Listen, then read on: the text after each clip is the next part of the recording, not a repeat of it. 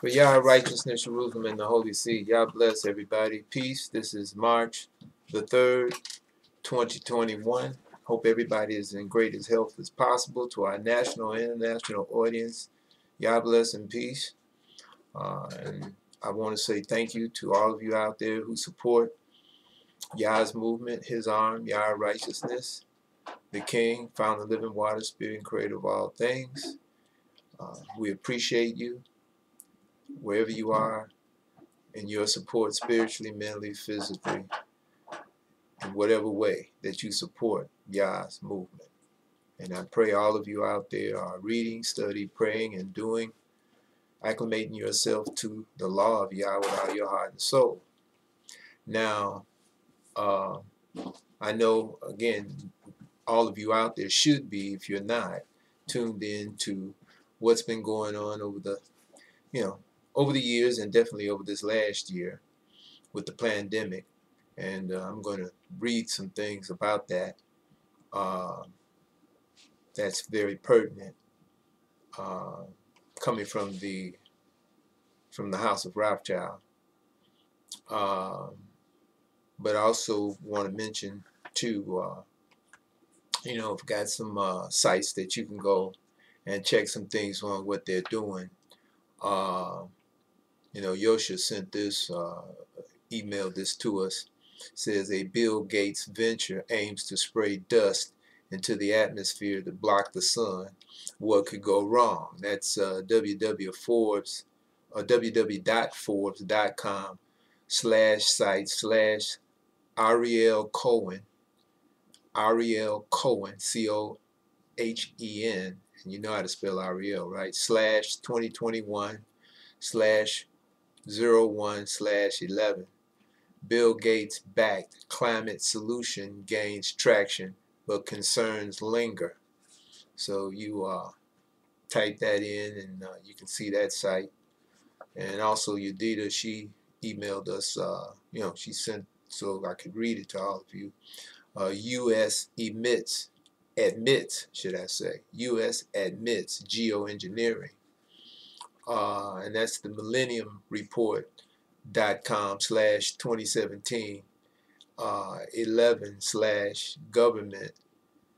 Uh, and, and, let me just say that again. The Millennium Report.com slash 2017 slash 11 government finally admits chemical geoengineering by chemtrail operations uh, and how the recent Texas deep freeze was a geoengineering attack by Esau.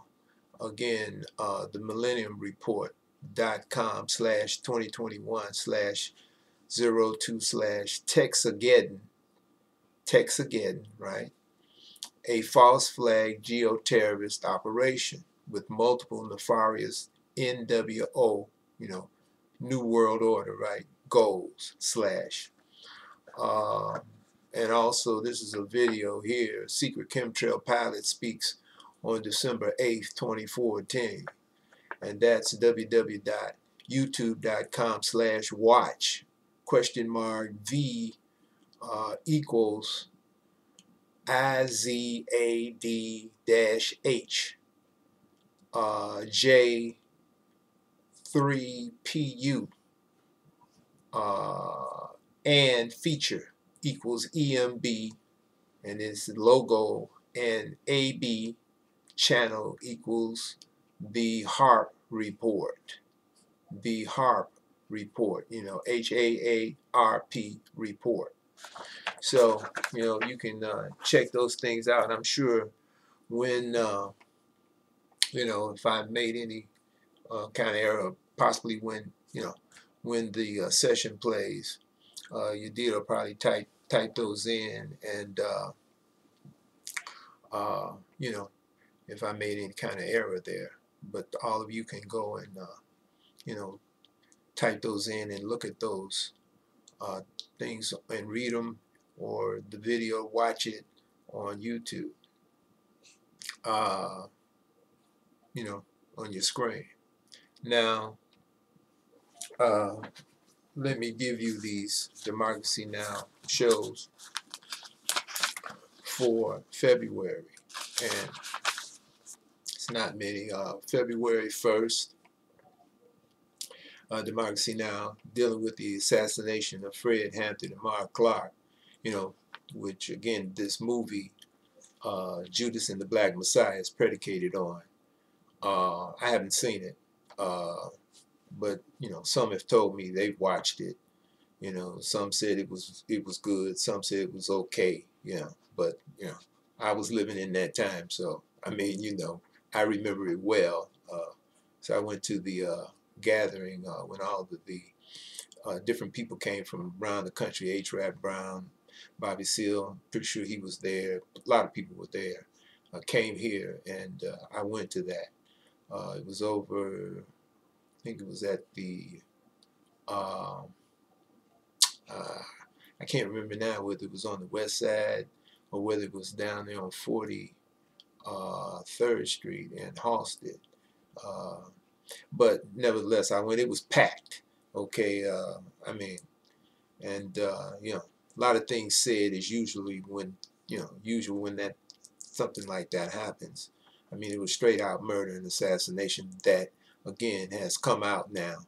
Uh, but uh, I think I uh, uh, mentioned on the last session. If I didn't, I'll say it now. Uh, one of those Democracy Now! shows, I'm pretty sure last month, uh, when they talked about it, they say it's still things on the FBI reports that are still redacted. Okay, they're still not, you know, letting out all the information of just what happened and how it happened. Okay, uh, but nevertheless, uh, that was on the 1st of February, that Democracy Now! show, if you watch that.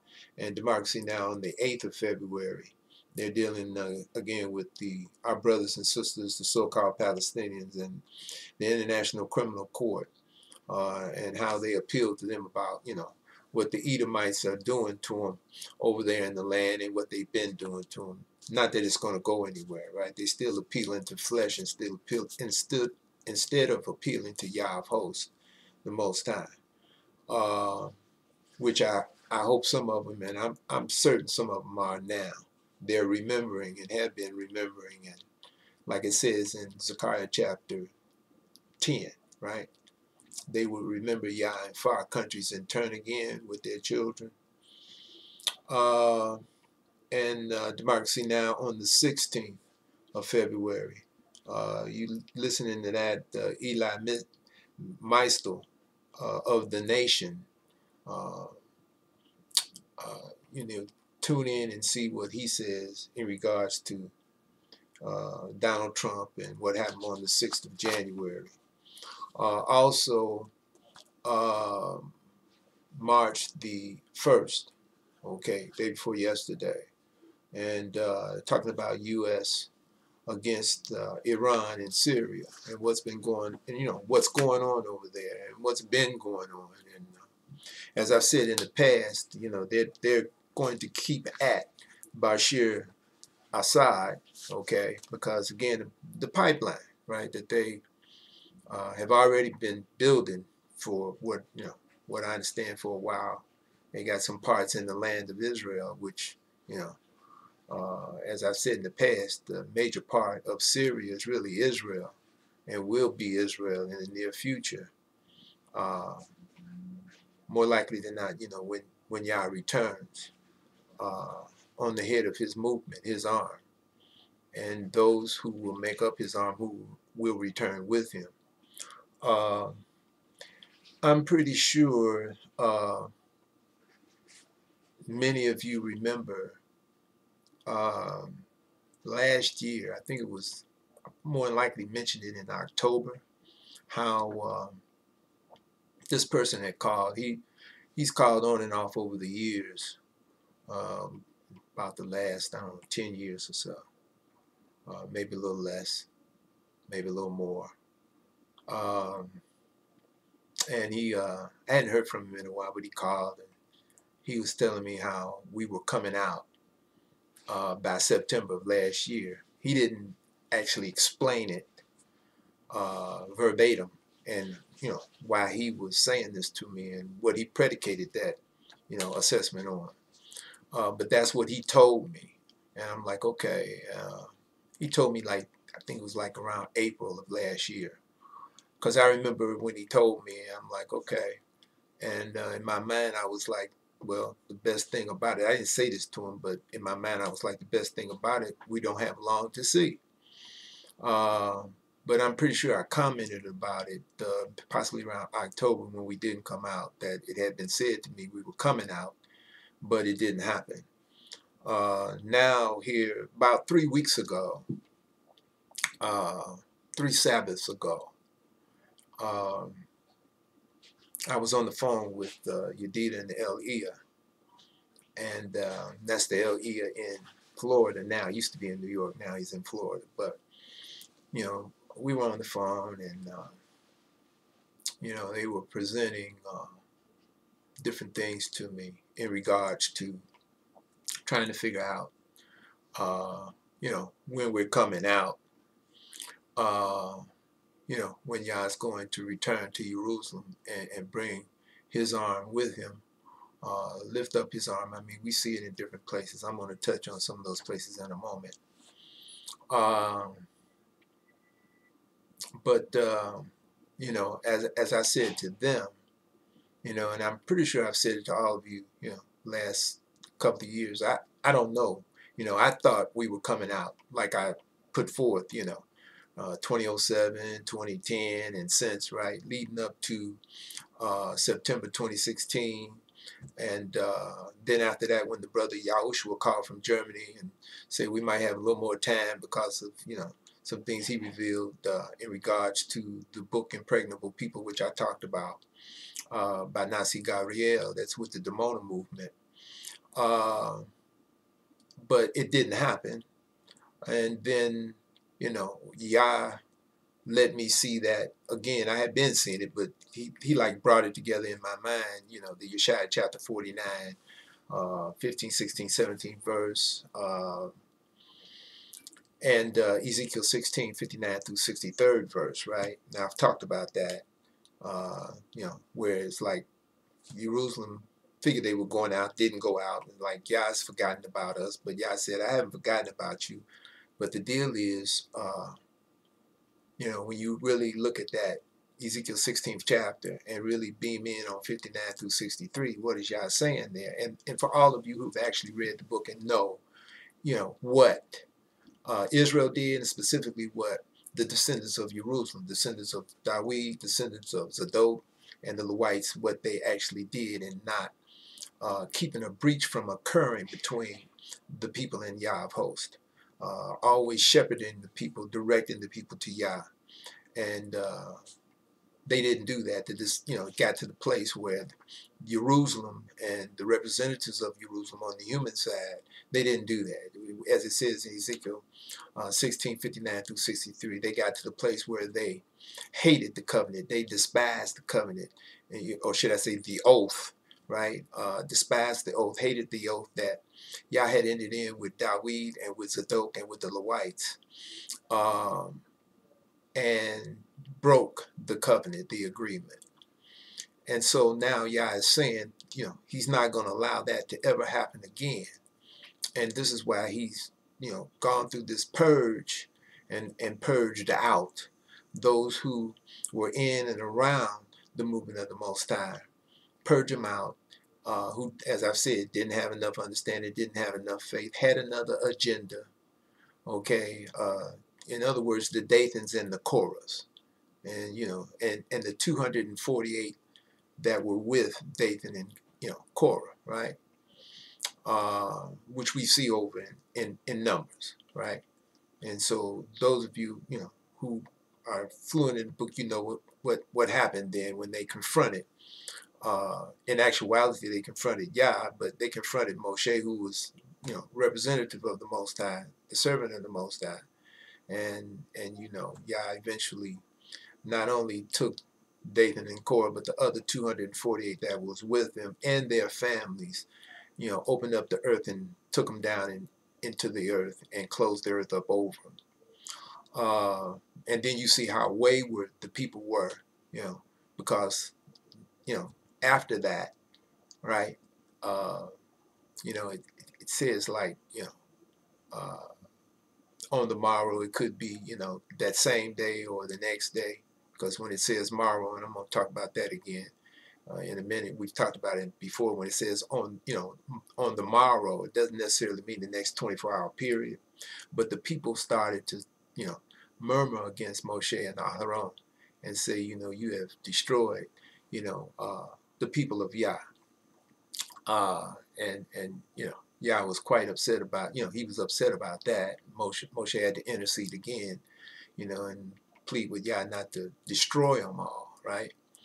Um, but that can't happen again, and it's not going to happen again. That's why Yah has purged out those who, you know, uh, had their own agendas, had, like I said, their own uh, self-exaltation and self-absorption, you know, consumed with their own self self-absorption.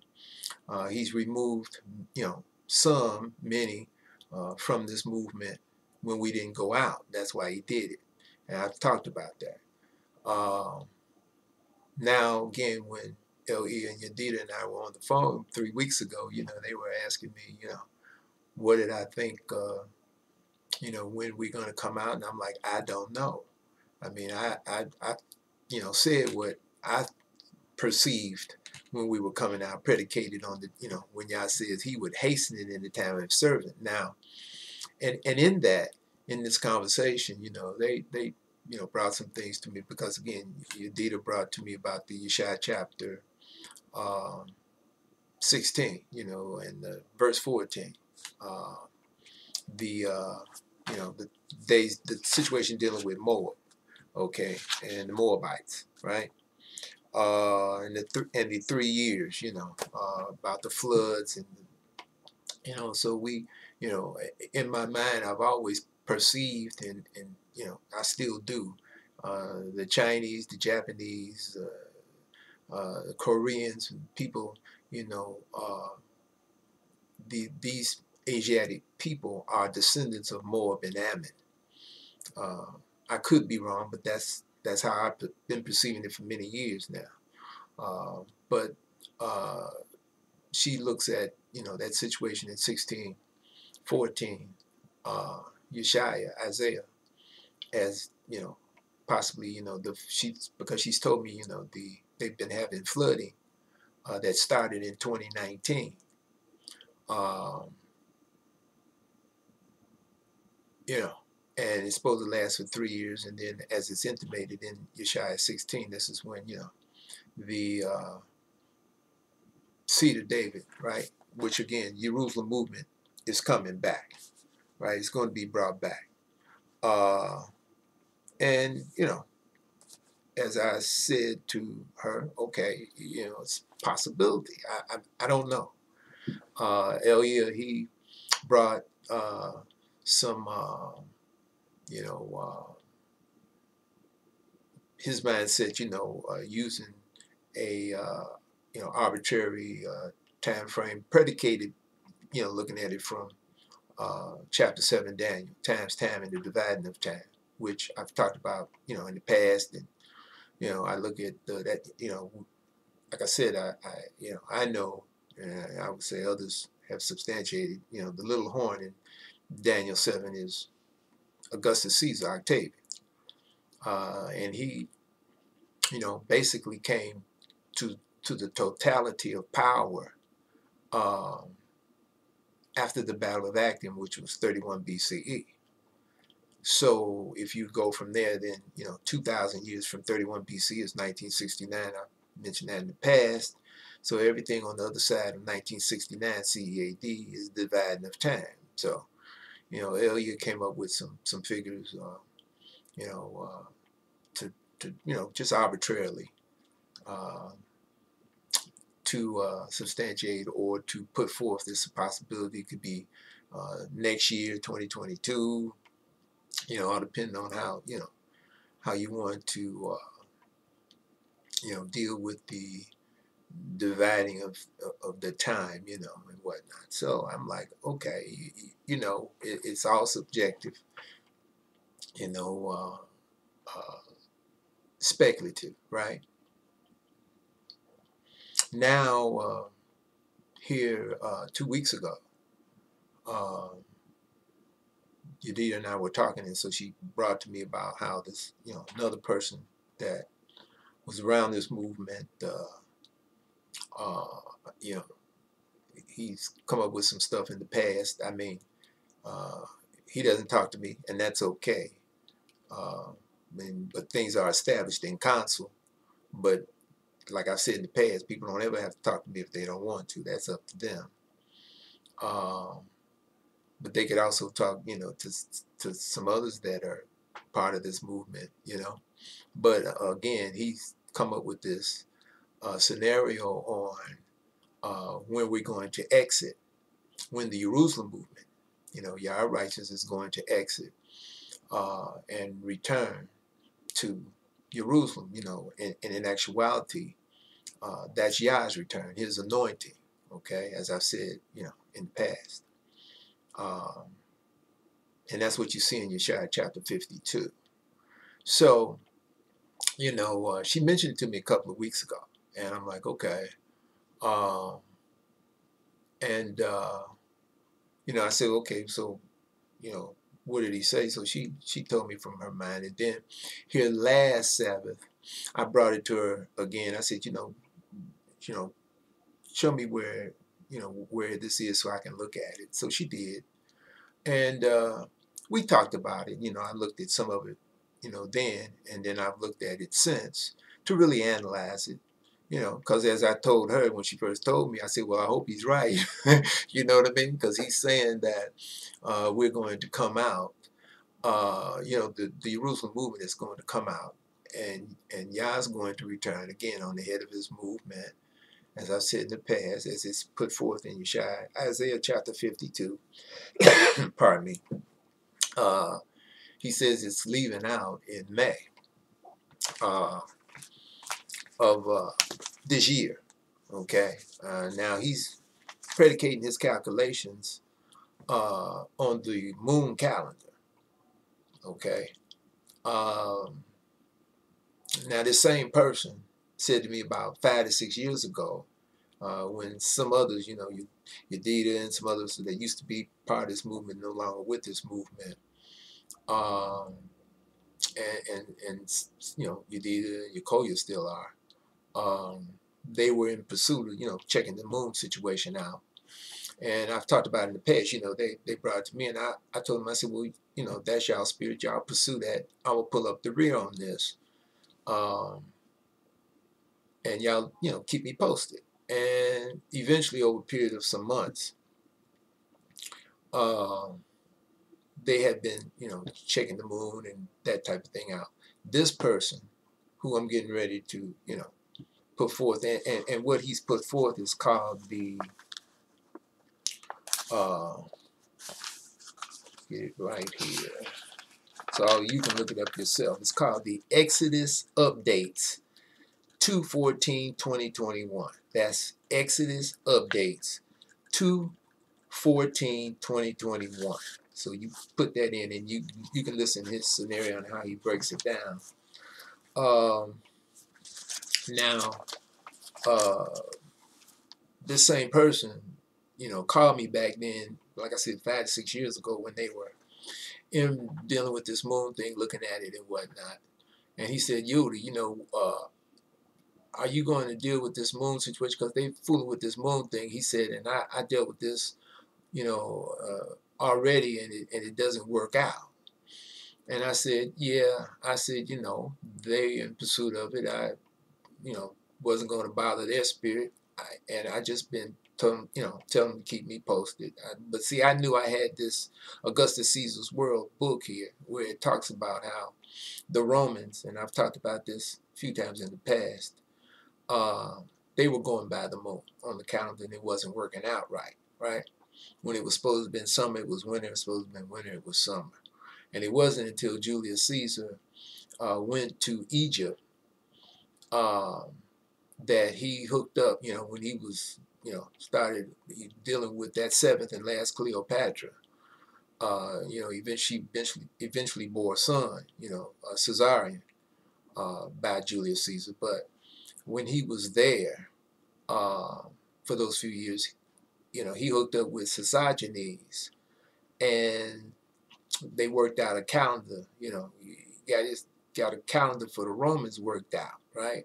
Now, uh, from what we found out since, and, and again, this person that called me said, you know, they fooling with this moon thing and it doesn't work. And I'm like, okay.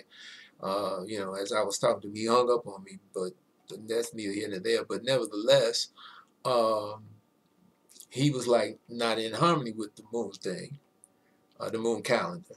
Now he is, uh, to a degree, because he he makes some, you know, it's kind of convoluted. But I'm gonna go through it, you know, from what I saw. But all of you go there. Like I said, Exodus updates, uh, 214 2021, and you can listen to him and yourself. Uh, but I listened to him, took some notes down. Uh, like I said, it's, it's somewhat convoluted, but this is his take. And, and as I said, I, I hope he's right.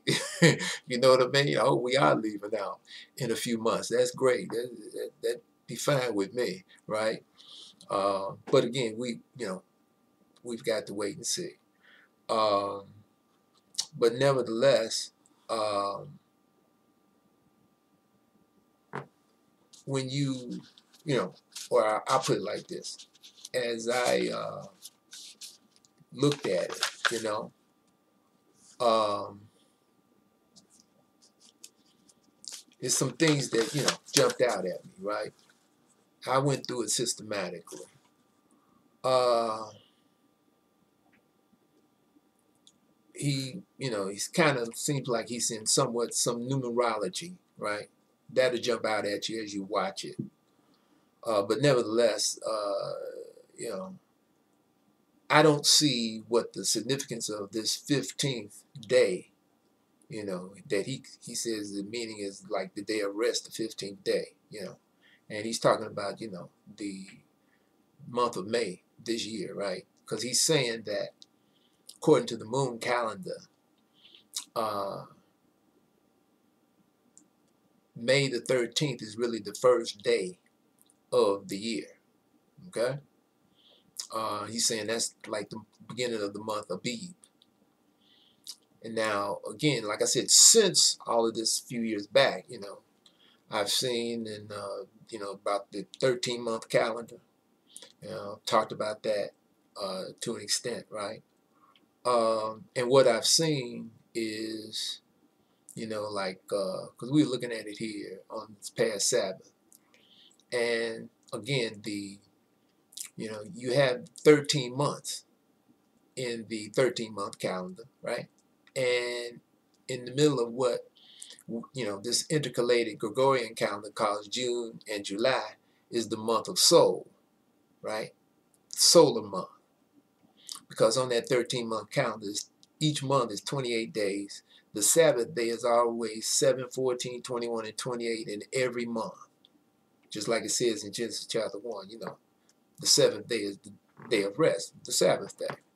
And it doesn't change in any month, right? It's always the 7th, 14th, 21st, and the 28th of the month. Then you've got that 13th month, which is the solar month. Uh, and then you've got, they call it the year day, uh, at the end, you know, basically the way they had it situated, what we call December. Then, you know, it's 28 days. Then they have right there after that, they got what they call the year day. It's just the, you know, 24 hour day. And then once that day is over, which you go back to one, you know, the first month, you know, what they, you know, January per se, January 1 again, right? 28 days, right? Every month, 28 days. Now, like I said in the past, if you multiply that 28 times 13 is 364. So they got that, what they call the year day for the 365th day, right? And uh, and then every so many, what is it, uh, divisible by what, 400, they come up with the leap year day, uh, or, or four, something like that. They come up with the leap year day. But again, like I said, I've never actually got into that, me myself, because I look at it, Yah's going to have to, you know, he's going to have to give us that, right? Uh, just like the language, you know, that's how I perceive it. Uh, this person who I'm, you know, talking about, when he puts forth, you'll hear him say at the back end, we're going to get a real calendar when we get back. So evidently he's, you know, uh, in agreement with that. But still, he's predicating this. He's saying that, you know, like I said, the middle of May, May 13th is the beginning of the first month of the year, the first day.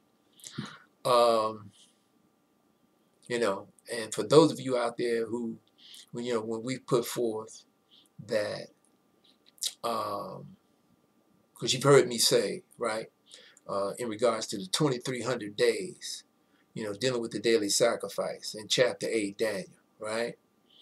And once we, you know, you, you, you know, you understand when Antiochus Epiphanes stopped the daily sacrifice and put the pig on the altar, and that's he did that in worship of the S-U-N, right?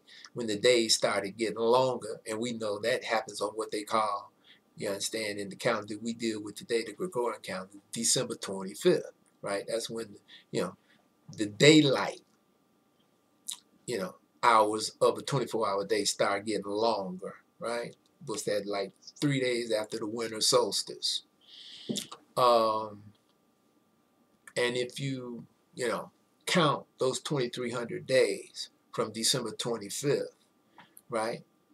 It's going to take you six years, 110 days later, right?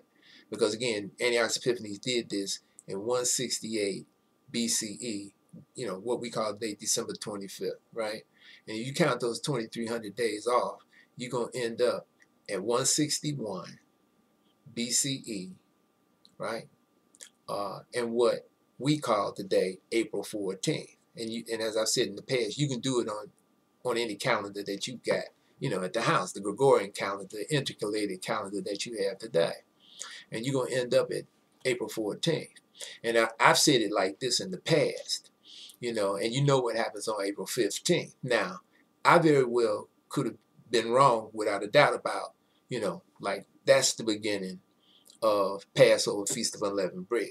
Because as I've said in the past, and all of you heard me when I had the conversation with the Vindicator back in December 25th, 2011, uh, they both happened at the same time. They both started on the same, you know, the Feast of Unleavened Bread, Passover started at the same time. They, we know Passover was what, a couple of hours, two, three hours, and then it's over, right? Uh, and, and then you get, uh, you know, the Feast of Unleavened Bread goes on for the for seven days, you know, starting with that 15th day, you know, of the first month, right? Um, and but they both start at the same time.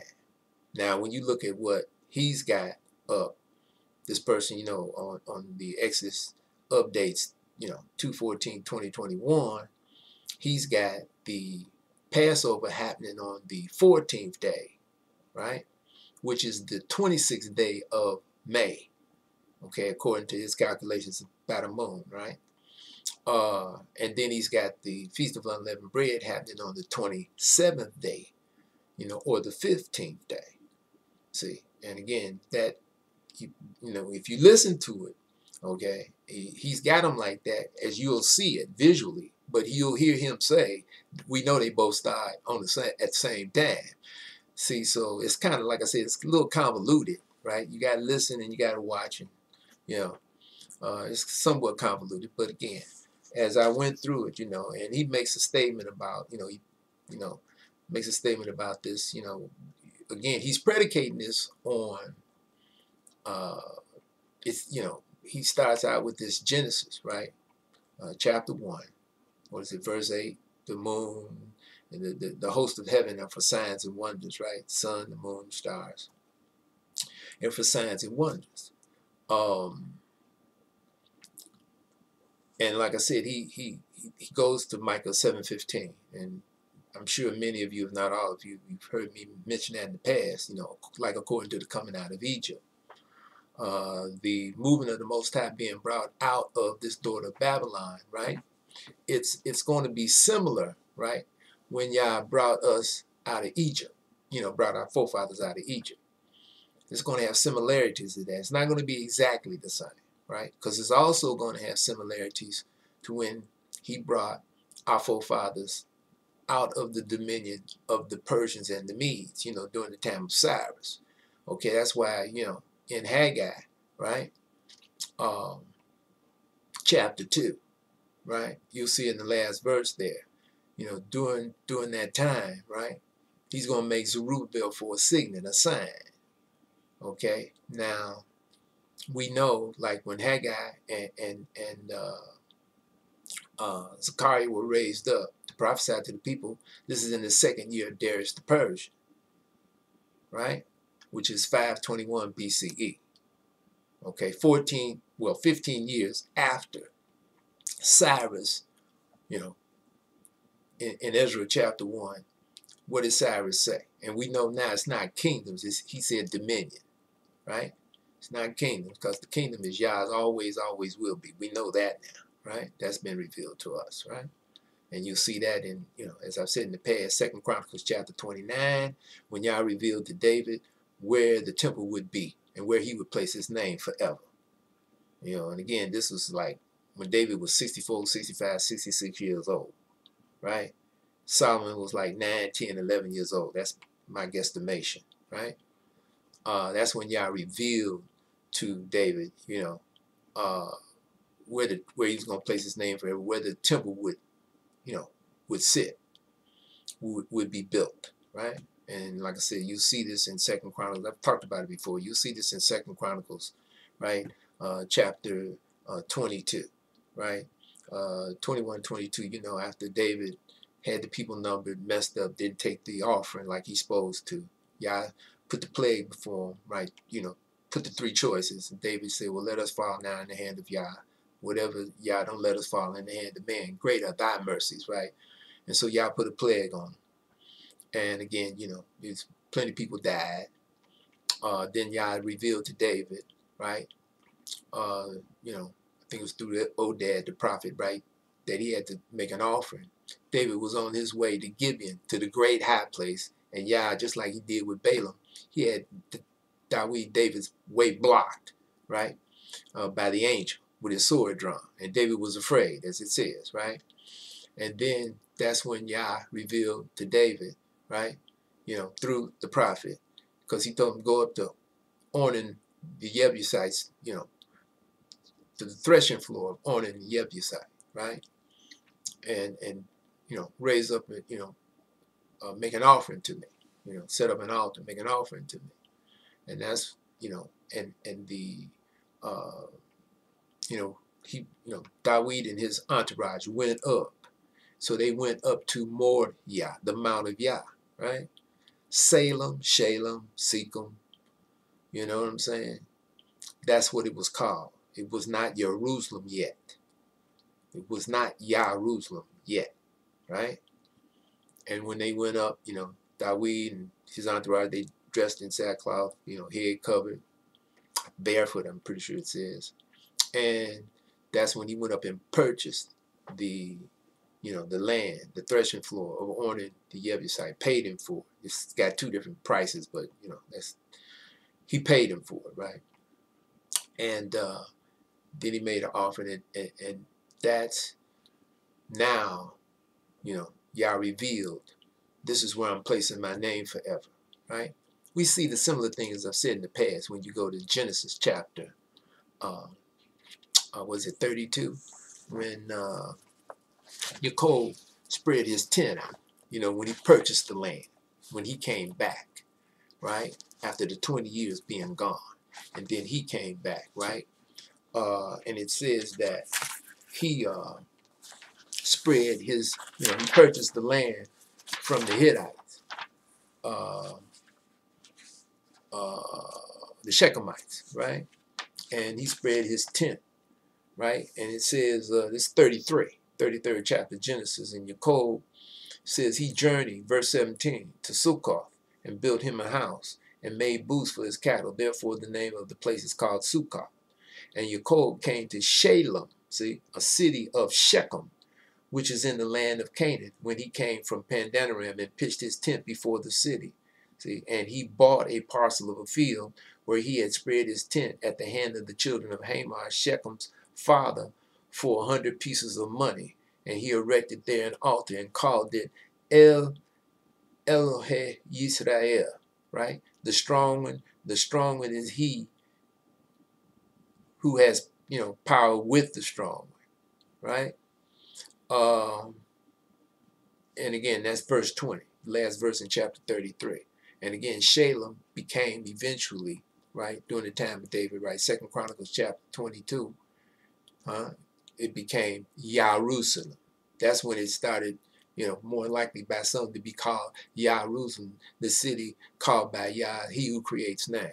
Okay, so now, you know, like I said, when you go to Second Chronicles 29 and David gathered all the people together, right? And he had Solomon there. That's when he told them, you know, this is where Yah is going to, you know, place his name forever. This is where the temple's going to be built. Solomon's going to build the temple. Like I said, you know, Solomon about 9, 10, 11 years old. David's about, in my mind, 64, 65, 66 years old because we know he died at 70, right? And then that's when he, you know, said to the people, right? Um, you understand? Yah has chosen Solomon. Only Yah gives Solomon wisdom and understanding to do what's right in the sight of Yah, right? He who creates. And this is why when you go to First Governors that they call First Kings, right? Chapter 3, and Solomon had been anointed the second time in the sight of the people, consecrated, right? Because he had to be consecrated again, chapter 1, but they call First Kings really First Governors, by Zadok, who was the high priest. See, Esau's tampered with a lot of that in there, but you know, Zadok was the high priest, and he had to consecrate Solomon in the sight of all the people, right? And so now, when that happened, and they had the, you know, the uh, the uh, feast and festivities at his, you know, consecration. Afterwards, that night, right, Yah came to Solomon in a vision, not a dream, in a vision. We know that now, right? And he, you know, I am Yah, the strong one of thy father, right? Now tell me what you want. And what did Solomon say? He said the same thing, you know, because this, like I say, four, five, six years later, he said the same thing what his father Dawid had said, you know, in Second Chronicles 29. Give me wisdom and understanding that I can rule this great nation. Right? And what did y'all say? I'm gonna give you that, right? And more than anybody before uh, had, you know, more than anybody before you has had and, and nobody after you is going to have as much wisdom and understanding that I'm going to give you, right?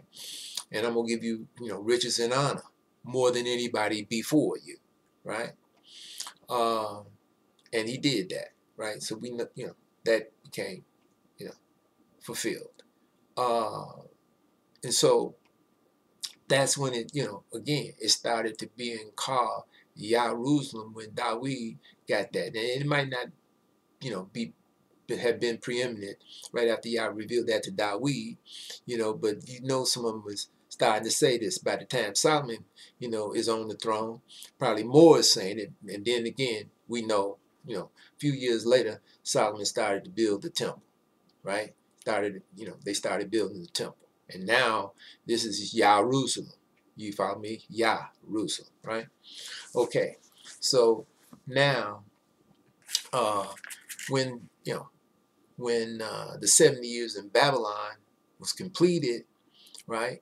Now, um, you know, Cyrus, Yah has raised up Cyrus, Ezra chapter 1. And what did Cyrus say? Yah, who is the Most High, who is the strong. And again, he had been prophesied of in Yeshaya chapter, the last verse in 44 in Yeshaya chapter 45. What, and what did Yah say about Cyrus? Who has not known me. So we know at some point you understand? Cyrus had to be, you know, this had to be brought to Cyrus where he like, you know, you've been prophesied. You this Cyrus that was prophesied of by the prophet Yeshaya, right? Isaiah, you know, 160 to 200 years earlier. See, you follow what I'm saying? Because again, we know Esau, as I said in the past, he's got in the first year of Cyrus there in Ezra chapter 1, but it wasn't. It was the second year of Cyrus. Because again, Daniel chapter 9, right? After 69 weeks, right? The, you understand, proclamation would come forth, the commandment from Cyrus to who? The Messiah, the Prince, who was who? Sheshbazzar's captive name, but his Hebraic Israelite name was what? Zerubbabel, right?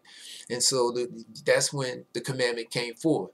After the 69th week, you follow me, of those 70 weeks that had been told to Daniel in Daniel chapter 9, right? When Gabriel told him, said it's 70 weeks left, because now, you know, this is in 538 BCE, right? and and the Babylonian Chaldeans had been, you know, uh, uh, you know, they had been knocked off per se. You know what I mean? They had been defeated by the Persians and the Medes, the Medes and the Persians. And again, we know it was Darius the Median, right, that orchestrated the, you know, the, uh, you know, the uh, defeat of the of the uh, Chaldeans. And so that's why, you know, we see in Daniel chapter 5, right? That's why, you know, Cyrus the Great made Darius the secondary governor or king over the realm of the Chaldeans, which was one of 120 provinces that was under Cyrus's dominion, right? So Darius the Mede was one of those 120 secondary kings, governors, or princes, right? That Cyrus had set up over, you know, his dominion. And he was over 120 dominions, you know, countries, you know, territories, right? He was the great king, right? And that's called satrapy, which you see being portrayed here in America to this day, right? They call them governors over their sections, right? So now, uh, it was in the 69th week when that commandment came forth. We know it's only 52 weeks in a year, right? So therefore, it was the second year of Cyrus, not the first, okay, that the commandment came forth to restore and build Jerusalem, right? And again, when they came back, uh, and again, uh, it, it, was only a remnant that came back, right? Ezra chapter 2, verse 64, 42,360 that came back. And, and you know, because and you know the majority didn't come back. Some of them gave money or whatever, their best wishes, to, to Zerubbabel and the ones that came back, Yahushua, right? He wasn't high priest Yahushua. He was a priest, though. He was the son of Yosadek, the high priest. But he wasn't a high priest because there wasn't no high priest then. Because Yah never came into that second temple once it was completed, right? But nevertheless, we know when they came back to 42,360, the remnant, right? Out of maybe what? 2.5 million, 3 million, 3.5 million of Israel that was under the dominion of Cyrus and in those 120 different you know, uh, uh, uh, provinces, right? Uh, when they came back, when they got, you understand, uh, cut off, right, from the adversaries, the Edomites and the Ishmaelites at that time, you follow what I'm saying? Got, got the temple stopped, right? Again, Ezra chapter 4, right? And this is the prophecy in Daniel chapter 9. He, you know, after three score and two weeks, 62 weeks, the Messiah would be cut off, but not for himself, right? So he was stopped in 535 BC. We've talked about this in the past. Zerubbabel, he was stopped from building the temple from the line letter, right? Ezra chapter 4, that Esau, Ishmael, the adversary, sent to Cyrus, right? Which is talked about in Daniel chapter 10, right? And so when it was stopped, it was stopped for 14 years. Again, you also see it in Ezra chapter 3. You understand? Uh, verse 8 gives you a time frame, you know, after they had set the foundation for the temple right? And they dedicated it, right? It was the second month of the second year of their return, right? So again, we, you know, 52 weeks in a year, right? Second month in the second year of their return, four weeks in a month. So that's uh, 56 weeks right there, right? So it's somewhere in the second month, right? First or second week, because it was three week delay before Cyrus sent Daniel 10, before he sent the stop order, put a stop to the building of the temple, right? And we've talked about all this in the past. You know, in Ezra chapter 4, Esau got implanted there out of Xerxes, but we know that's not true. It, it was Cyrus, right? Like we see in Daniel chapter 10. Cyrus put the stop order down. Zerubbabel was stop. They were stop from building the temple. They had laid the foundation, then they were stop. And instead of writing a letter to Cyrus asking what's going on, what did they, you know, what did Zerubbabel and them say, right? And we see this in Haggai chapter 1 the time for Yah's house to be built hasn't come. So they just left off and went and built their own houses. And we see what Yah did to them, right? He afflicted them in every work of their hand, as it says in Haggai chapter 1, right? But now when you go over into Haggai 2, and he's raised up Haggai to prophesy to him, which, you know, and Zechariah, right? And from the prophecies of Haggai and Zechariah, it stirred up Zerubbabel and Yahushua and them, and they went and started building Yahushua, you know, the, the, the priest, not high priest you know, I misspoke about that some years back, but I've corrected it since, right? He was just a priest, not high priest. And they went and started building. And when they got confronted by the adversaries, Esau and Ishmael and whoever was with them, you understand? They said, you know, Cyrus gave us permission to build. And they like, you know what they said.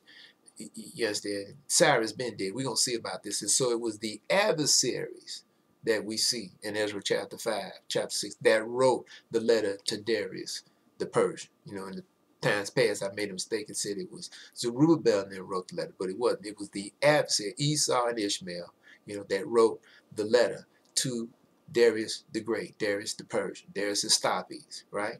Ezra chapter 5, saying that this house is a house of sedition and, and rebelliousness and whatnot, accusing them just like they had written 14 years earlier. You understand what I mean? Uh, uh, and, you know, impugning and, and maligning and, and lying against Zerubbabel and them. And to Cyrus and got it stopped. But it had to be stopped because this was the prophecy, right? But just like it was the prophecy, it would be stopped. It was the prophecy that it would be built. It would be completed. And so, uh, you understand, when Darius the Great, Hastapes, when he got the letter and the letter was read to him, he, he did what? You understand? Go search the roads, bring me back everything that Cyrus had said about the temple of this Yah. You understand? And he got Daniel sitting right there next to him right? And that's Daniel chapter six. He, you know, Daniel was his the first of the three presidents, right? Sitting right there next to Darius the Great. So when all this information came, you know, Daniel was, you know, uh, uh, confirming and substantiating and magnifying Yah and what Cyrus had put forth when he was, you know, when Cyrus was alive. You know, he told Darius the Great this, Darius Astapes, and then when they brought back all of the the history and read it to him, then you see in Ezra chapter six what Darius Astapes put forth, right?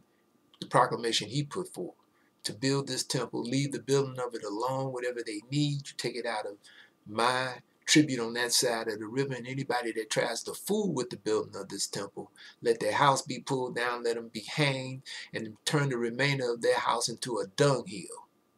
For why should I and my sons receive any damage from Yah? Right? Okay.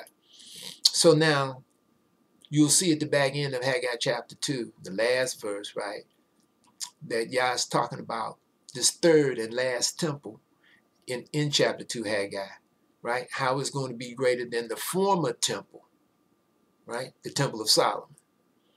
And how this third and last temple in the latter days would be greater than the temple of Solomon. And the temple that Solomon built would be in the site of this third temple, like that temple that they had completed in Haggai chapter 2 that they were standing in front of. How, you know, it would be in comparison, that temple they can completed in comparison to the temple that Solomon built. The temple that Solomon built would be like that temple in comparison to this third and last temple that is to be built in the near future. Okay? And he's saying that during this time he would make Zerubbabel for a signet. So it's going to have similarities, the movement of the Most High today, right? As we go, it's going to have similarities to that. That's why he says he's going to make Zerubbabel like a sign. Okay? Because we know Zechariah chapter 4, Zerubbabel was very old. And it got to the point where the people was wondering, is he going to be able to finish the building of this temple? Okay? And Yah sent word through Zechariah. The hands of Zerubbabel laid the foundation of this temple. His hands is going to finish it. He going to bring the last stone, the capstone, right? The cornerstone, crying grace, grace unto it. Okay? All right. So it has similarities to that, this movement today, to that movement, as well as the movement, you know, when Yah brought Israel out of Egypt. It's not going to be exactly the same in either case, but it's going to have similarities. Okay. Now, like I said, I, I made some notes. I already mentioned how he, this person who puts forth this, you know, uh, Exodus updates uh, to 14, 2021, right? He makes a mention of how the 15th day is the day of rest. I haven't seen that. I, I don't know where he's getting that from. Uh, but nevertheless, he, says, uh, we understand, uh, you know, make some statements about the, the Leviathan today because he went to Yeshaya chapter 27. right? Talking about the Leviathan. But we know that Yah hardened the heart of Amenophis II and he's hardening the heart of the Leviathan. Because when you read, you know, the illuminated Edomite, which, as I've said in the past, I perceive as the head of the house of Rothschild, and the head of the house of Rothschild today is Jacob the Rothschild. And like I said, I'm going to touch on that when I read this other to you and when I finish this. Um, you know, he's hardening his heart. Because again, in, in Yeshaya chapter 27, you know, they saw the movement of the Most High when it first popped up okay, back then September 1986. That's why it says there in 27 Yeshaya, when it first springs forth, the Leviathan going to debate with it. He stay of his rough wind in the day of the east wind. And then what does it say? By this, therefore, shall the iniquity, and it should say Zion, now Jacob, the iniquity of Zion be purged. Because again, all who making up this YHWHrusalem movement, we're in uh, refinement. Okay? All right uh, also, you know, this is not Egypt. This is the daughter of Babylon. You hear him talk about like these Egyptians here, but this this is the daughter of Babylon. These similar to the Chaldean situation, the Babylonian. This is why it's called the daughter of Babylon, right? Uh, and uh, again, he's predicating this. He, he, he says it was, you know, it was the the 27, you'll hear him say that it's like he's in numerology, okay? But he's predicating this on this red moon that's supposed to show itself on May 26th, you know, this coming May 26th, which he says is the 14th day of the first month. And again, you know, like I've said in regards to that 2300 days, right? When you count the 2300 days, I'm Daniel chapter 8, right? From December 25th right? You can do it on your calendar that you got. You're going to end up at April 14th. Now, when he says, you know, I've been saying, you know, because, you know, we've been acknowledging April like the beginning of the month, you know, the beginning of the year, first month of the year. Uh, and as I said in the past, when people say, well, you know, they deal with the end of March or whatever, I don't, I don't you know, okay, because we don't have the right time, right?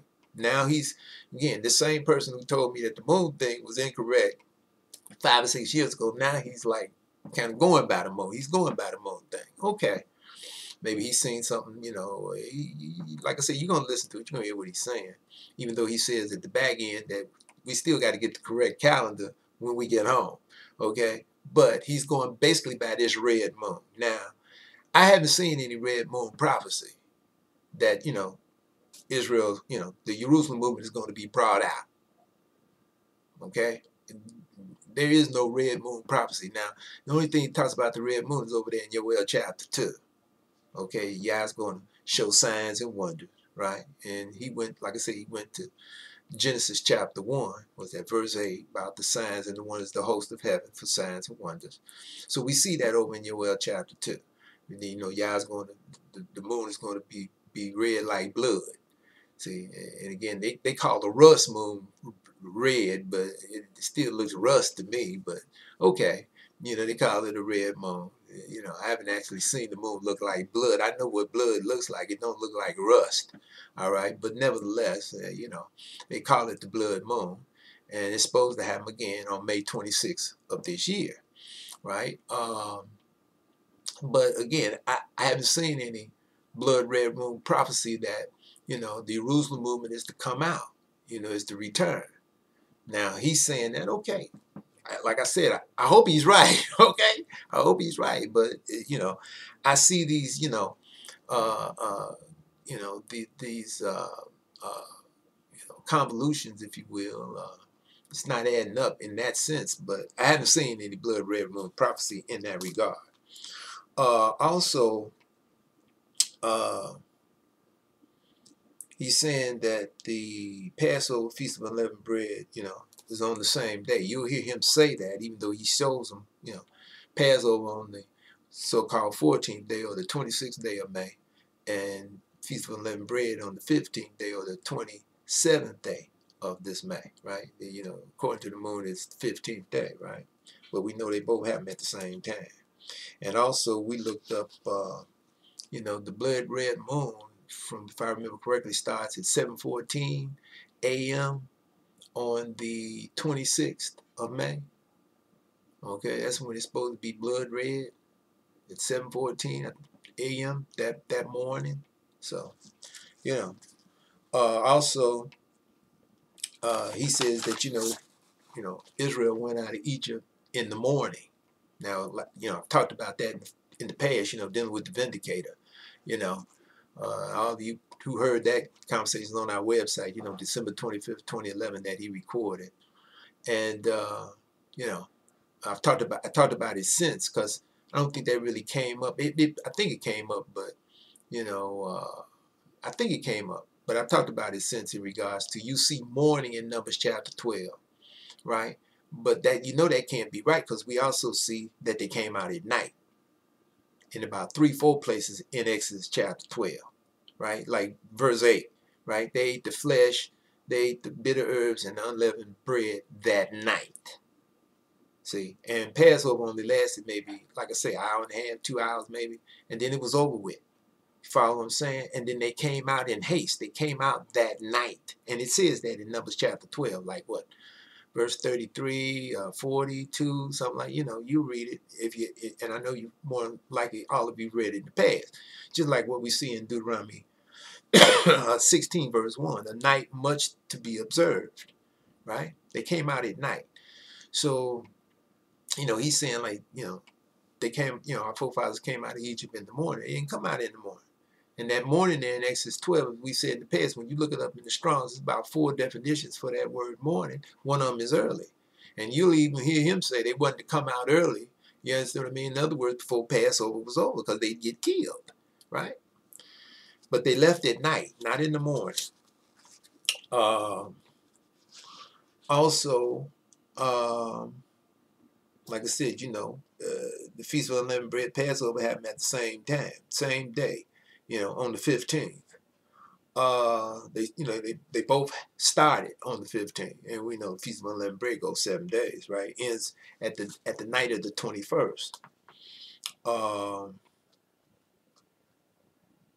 uh, you know, the 21st at even, right? Because it's the 15, 16, 17, 18, 19, 20, 21. And when it gets dark on the 21st day, that's the end of the Feast of Unleavened Bread. so, uh, also, uh, he says our captivity is over now. And that's not, that's definitely not true. We're in captivity wherever we are. It's not over with. Okay. and when the YHWHrusalem movement is brought back by Yah through the elite of the earth. You know, talked about this in the past. You know, Daniel 7 verse 13, Yeshaya chapter 49, Yeshaya chapter 60. Right? That's why the monarchies had to be sprinkled. Yeshaya, you know, with the with the you know, with the publication, Yeshaya chapter 52. Uh, you know, they're gonna come and, and you see that. Uh, to the movement of the most time. Right? Uh, that'd be, you know, once the YHWHrusalem movement is brought back, that's the end of the captivity for the YHWHrusalem, those who make up the YHWHrusalem movement. The captivity will still be going on for those who, you know, are not part of the YHWHrusalem movement or won't be allowed to come back with the YHWHrusalem movement. Okay? And he makes the statement that the captivity was 400 years. It's much, much longer than that. 2,300, 2,700 years this captivity has been and still going on as I speak. Okay? because again, the YHWHrusalem movement is is, is in, we're in captivity. okay, we're still captive. That's why, again, when it says in Yeshaya chapter 27, the Leviathan is going to make peace with Yah, he's going to cause the vineyard of red wine, which is the YHWHrusalem movement, to take root in Jerusalem. Because Yah is going to humble him just like he humbled Amenophis II. See, just like he humbled Cyrus, but different because Cyrus was an oppositional right? He wasn't adversarial. See, Cyrus wasn't. See, but but again, he didn't know. You understand what I'm saying? What his purpose was at the beginning. That's why it says in chapter 45, Yeshaya, uh, Isaiah about Cyrus, though he has not known me. He didn't find out about this till sometime up, you know, as he, you know, was rising to power or when he came into power. Okay? Because it very well might have not been solidified until, you understand, uh, that first year, he was the great king. You follow what I'm saying? 538 to 537. You understand? Only into 536. That's why it was the second year of Cyrus when he gave the command, not the first year, because it's after the 69th week. It's only 52 weeks in a year, right? okay. Um, uh, and again, uh, says, because uh, you, again, you'll see that in 66 Yeshaya, right, in regards to the YHWHrusalem movement, pardon me, uh, Yah says that the YHWHrusalem movement and those who make it up won't be comforted until we get to Jerusalem, right? So the captivity is still in play. I mean, we're still up under, right? Even though we've turned to Yah and we're totally committed and submitted to Yah with all our heart and soul, Deuteronomy 30, verse 2, the ones of us who are, right?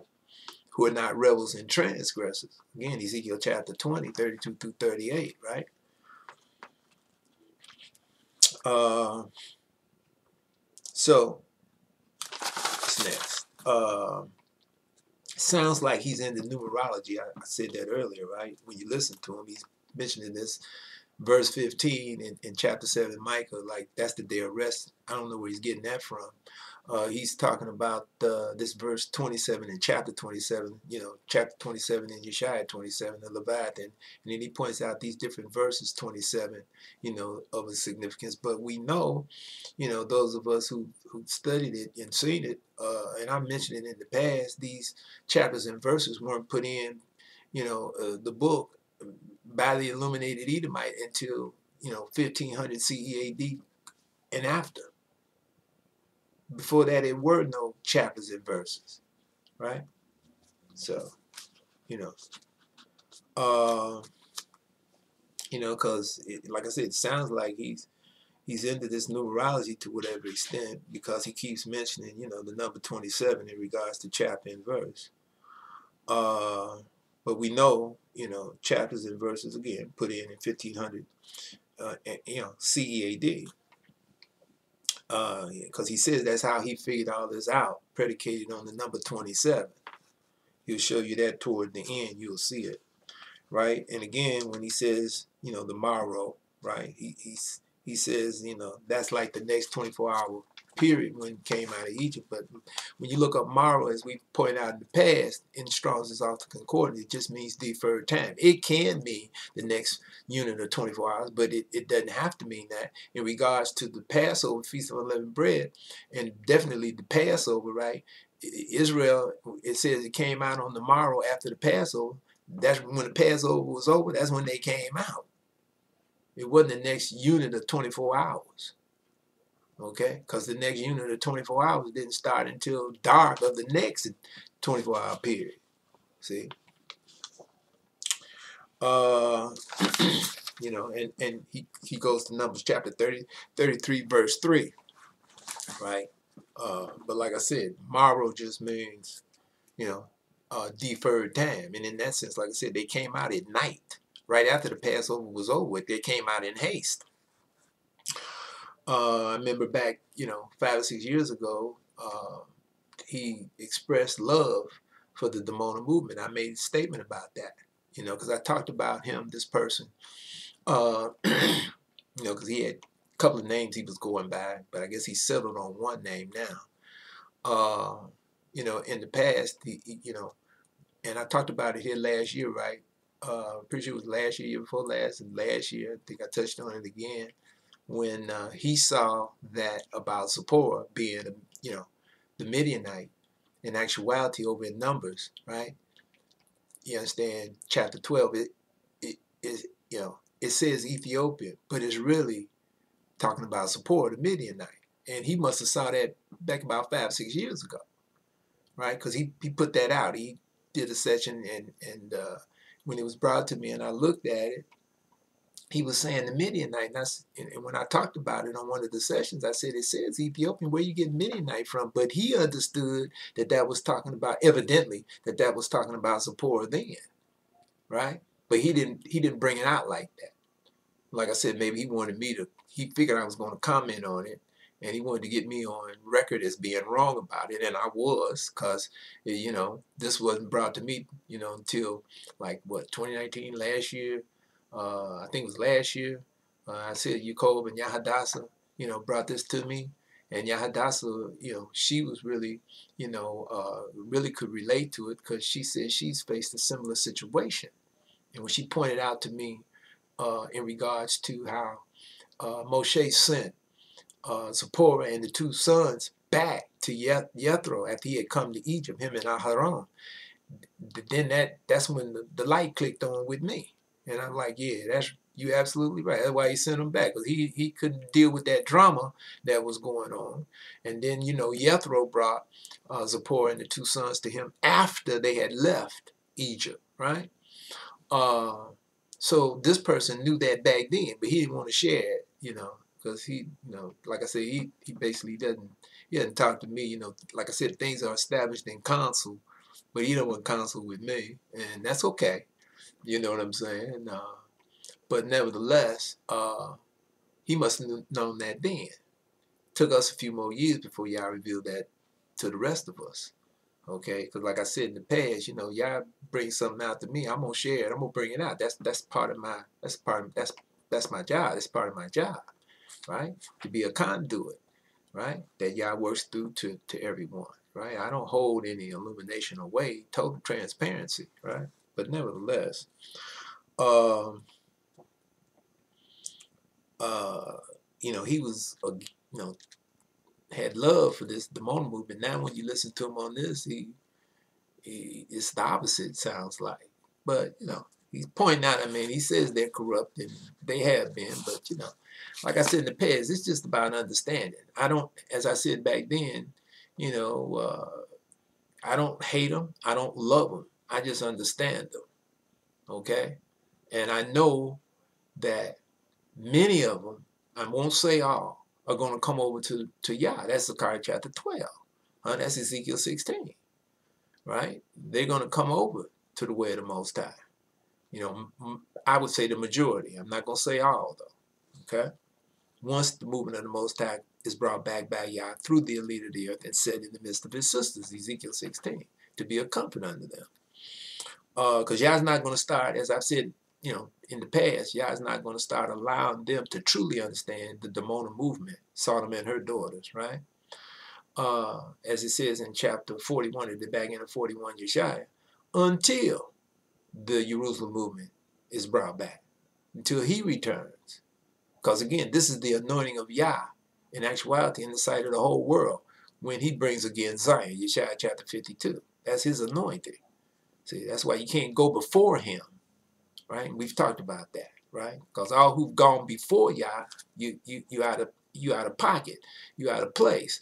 But that's why again in chapter 48 Yeshaya, the first 10 verses, what does Yah say about that Dimona movement? Because he makes mention of this in this Exodus updates, right?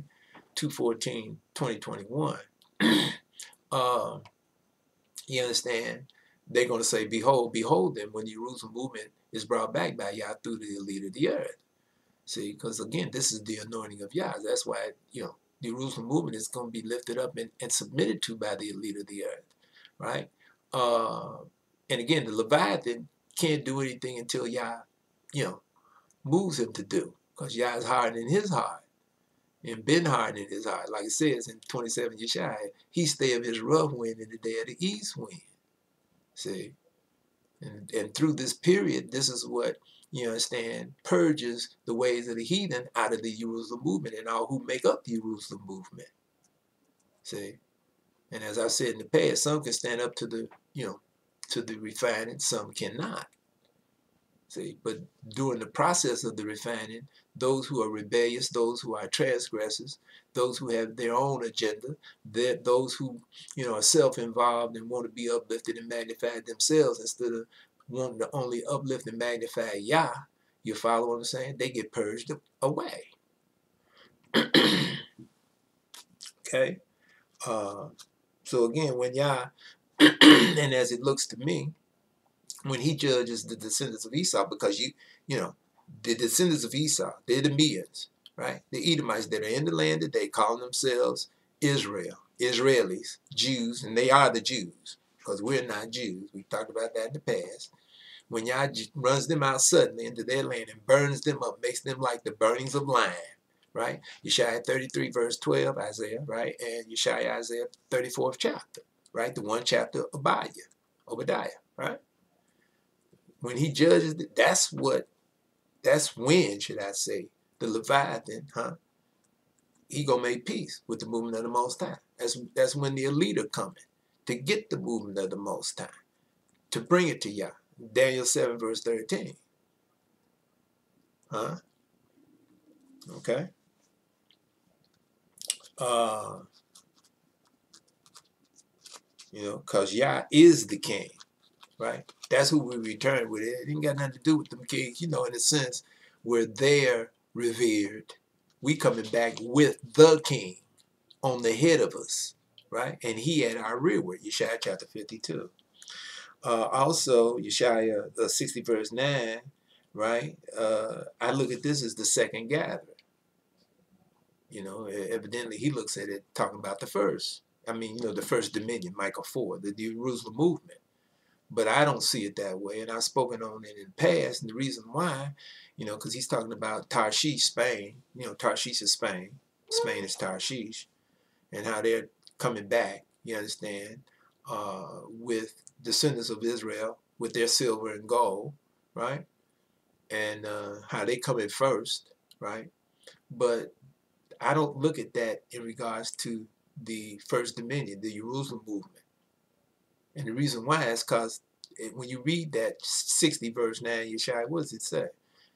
They're coming to the name of Yah. You follow me? That's after Yah is already established in Jerusalem. Temple's not built. Uh, you know, and, and, and I take that back. At that time, the temple will be built in the second gathering, right? See, but if you go to Yeshaya chapter 66, right? That's why that's why we didn't sprinkle Spain with, with any publication. We didn't send them anything. I've talked about that in the past. Because when you go to Yeshaya chapter 66, what does it say? When Yah judges the Edomites, right? That's what that's talking about there. You understand when you get so far in the 66th chapter, Yeshaya, when he judges the Edomites, right, runs them out and burns them up in their land, he gonna send out like runners, messengers to the nations. What does it say? That have not heard of Yah's fame, nor seen his glory. His glory is his arm, his movement. What you see over my right shoulder, Yah righteousness. Okay? That's why we didn't send Spain anything, Tarshish. We didn't send Greece anything. You see Yavon there in 66 shot. Lud, Tubal, you know, we didn't send anything to them. What? They have not heard Yah's fame nor seen his glory. See? That's when, you know, Spain is coming, you understand, those of Spain, in the second gathering, not the first. Or should I say the first dominion, right? Okay, because as I said in the past, Ezekiel 16 is a three-pronged movement. It's not talking about the second gathering in Ezekiel 16 at all. You know, it's like 1, 1A, 1B. And the YHWHrusalem movement is like 1B in movement in that Ezekiel 16. Right? Because the first one's brought back is the Dimona movement, Sodom and her daughters, Yeshaya 48, the first 10 verses. Right? And then uh, the descendants of Ephraim, Samaria. You know, Ephraim being the 10 tribes per se, right? Not the one tribe, right? Uh, Samaria, Israel, they, they, you know, got cut loose because many of them was locked up, right? Before, right, the Dimona movement came to their former state. We've talked about that in the past, right? They were locked up after the, the, the four-day war that they called the Six-Day War in 1967. And they weren't let out until like April 30th, 1993, uh, May, I think it's May 2nd, 1993. As, and they, you know, the leaders were let out and returned to their former state then of the, you know, the, the remnant out of those five, five and a half to six tribes of, of Israel, you know, became known as Palestinians. We've talked about that in the past too. right? Uh, like I said, they're coming, Spain coming to the name of Yah, right? In that 60 verse 9 Yeshaya. So Yah is already established. That's the second and last gathering. Um, also, uh, in regards to Yeshaya, Isaiah 61, uh, you know, he establishes Jerusalem, right? Uh, you know, you're going to have many who are going to want to come back with the YHWHrusalem movement who are descendants of Israel and probably some other people too of other nations. But if they're rebels and transgressors, they're not coming. They're not going to get back. God's not going to allow them to get back with him and the YHWHrusalem movement. And that's what you see in Ezekiel 20, 32 through 38, right? Uh, and again, uh, you know, he probably has some, you know, is out here, uh, you know, saying possibly coming back in 2022. Like I said, you know, uh, Yadida's intimated that it's possible we come back in 2022 from the three years of the floods that happening in Moab, if China is Moab, right? Ezekiel 16, verse 14, right? Um, so that, you know, similar maybe 2022. So, so people, you know, trying to guess. Me, myself, I, I'm just, you know, you know what I mean? I, I don't know when it's going to happen. I'm waiting on Yah. Uh, it's all speculative, right? Um, like he does mention, like I said, he does say at the end that we're gonna get the correct calendar when we get back, you know.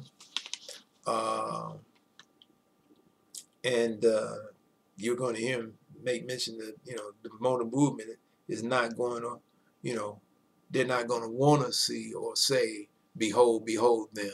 Right, Yeshaya chapter 41 at the back end, right, when the YHWHrusalem movement is brought back, right. It doesn't say that uh, you know they're going to be adverse to the YHWHrusalem movement being brought back.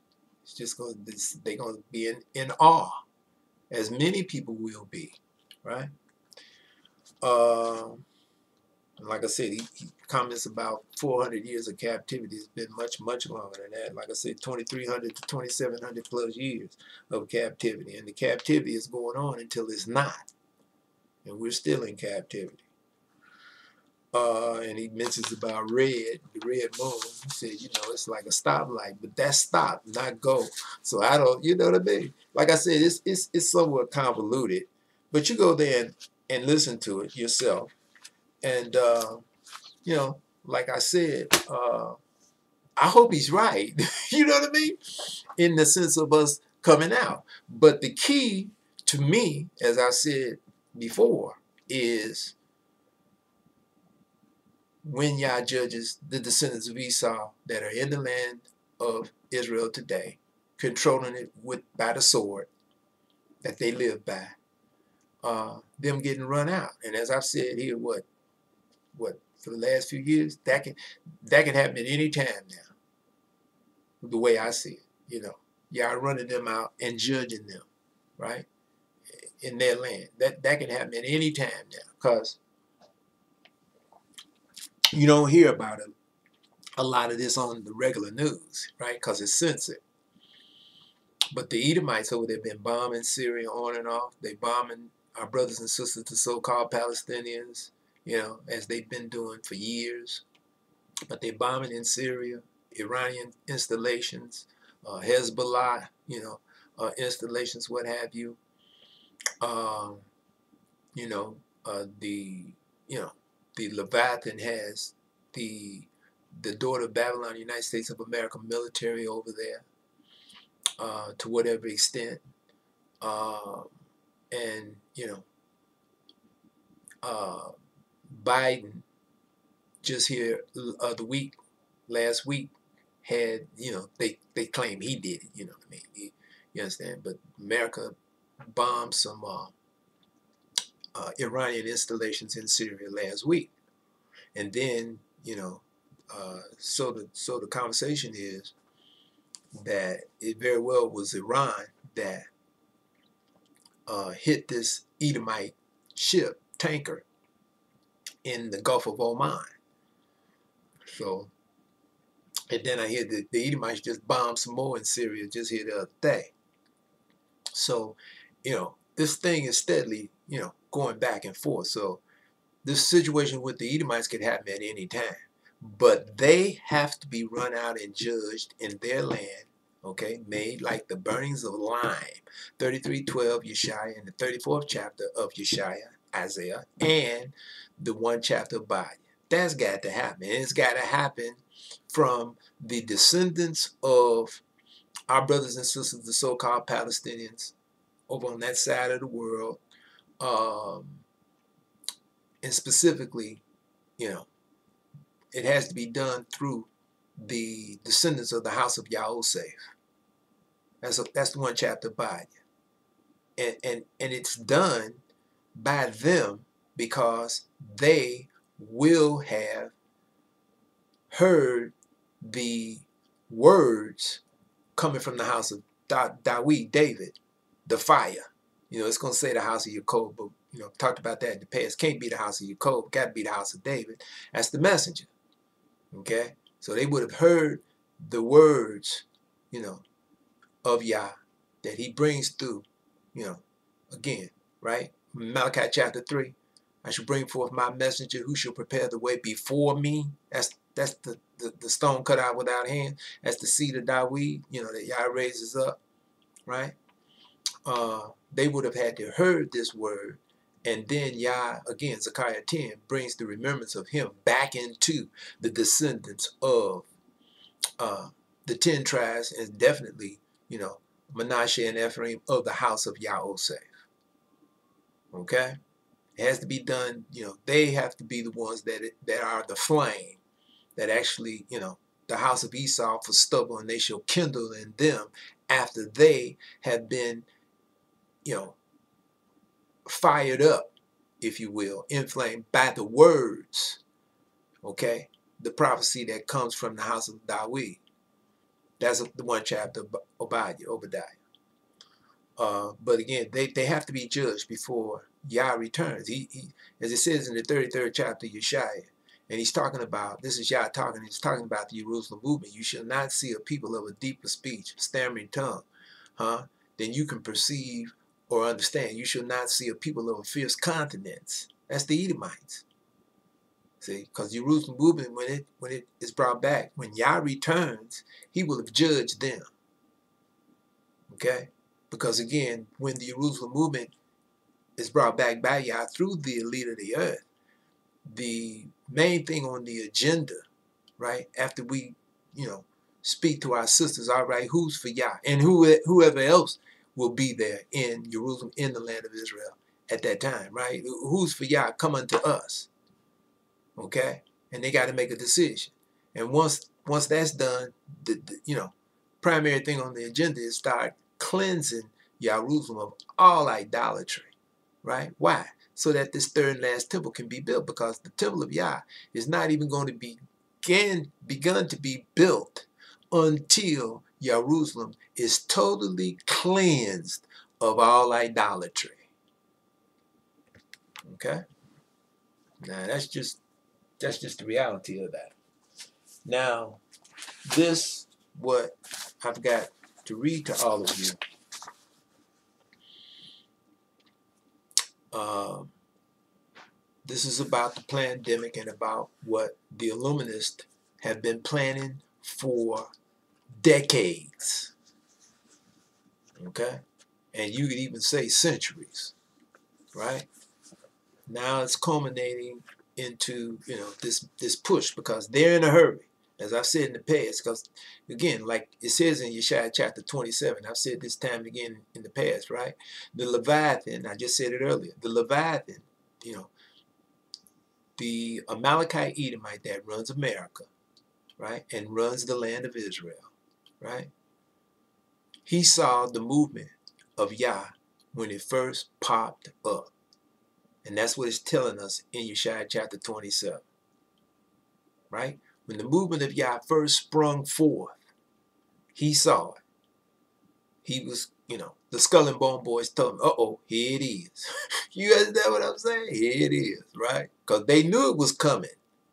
They just didn't know exactly when, right?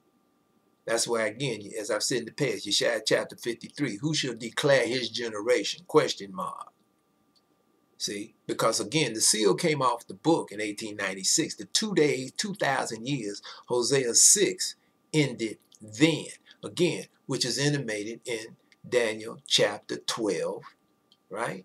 The first vision that Daniel got, 1136 to 1210 Daniel, right? When Gabriel standing on the water, that's who was standing on the water, right? And the other two angels standing on each side of the bank of the river. And Daniel is standing there listening to this conversation, right? And that's the first vision he got that he got before the vision of the dream and the interpretation of Nebuchadnezzar. And, and this happened when? In the second year of his their captivity. When the first bunch out of Jerusalem, Yahuda Benjamin, was taken up into Babylon. 606 BCE. In the second year, that's 604 BCE, right? You follow me? And the first, second year of Nebuchadnezzar being king alone. You know, he, he was co co-regent with his father Nebuchadnezzar in 606. And then his father died in 605. He became king, sole king. See? And then in 604, Yah gave Daniel the first vision Daniel ever got. And that's that 1136 to 1210 Daniel. That's why he didn't understand it. You follow me? And then he got, you understand, when when the cat mother God came to get him, Hananiah, Mishael, and Azariah, right? To take them with the rest of the wise men because Nebuchadnezzar was having the dream, couldn't understand it. And when he put it to his counselors, they couldn't understand it and said nobody could explain it. He said, kill them all, right? All the wise men. And when the cat mother God came and got Daniel, Hananiah, Mishael, and Azariah, and Daniel said, well, look, why, why is the, you know, why is the decree so hasty? Take me in, let me talk you know, to the king. And the captain of guard, who was, you know, you understand, you understand, he had a, a, a, compassion with Daniel, you know, they, they had a rapport, right? Tells us that in chapter one. He, he took him in. And Daniel said, give me my companion some time. We'll give you the dream and the interpretation. And like I said in the past, probably Nebuchadnezzar said, okay, you got to let the board. you got to let the it, right? You understand? And then what does it say? Daniel went in, told Hananiah, Mishael, and Azar, and then they what? You understand? They they prayed, made supplications to Yah that night. And then Yah came, sent Gabriel again in the night visions, right? And, and gave Daniel the vision of the dream and the interpretation. But Daniel could only say that to Nebuchadnezzar because he already had a vision from Yah. You follow me? He already had a vision from Yah. That's why he could say, take, take me and let me talk to him. You follow what I'm saying? And then Yah came to Daniel the second time. And this is in both both of these happened in 604 BCE.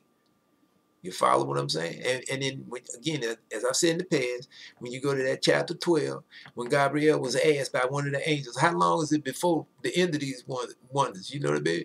And, and he held up both his hands toward Yah, to heaven, the, the, he who lives forever, right? Yah of He's the only one that's infinity, right? Forever, right? First and the last. What did, what did Gabriel say?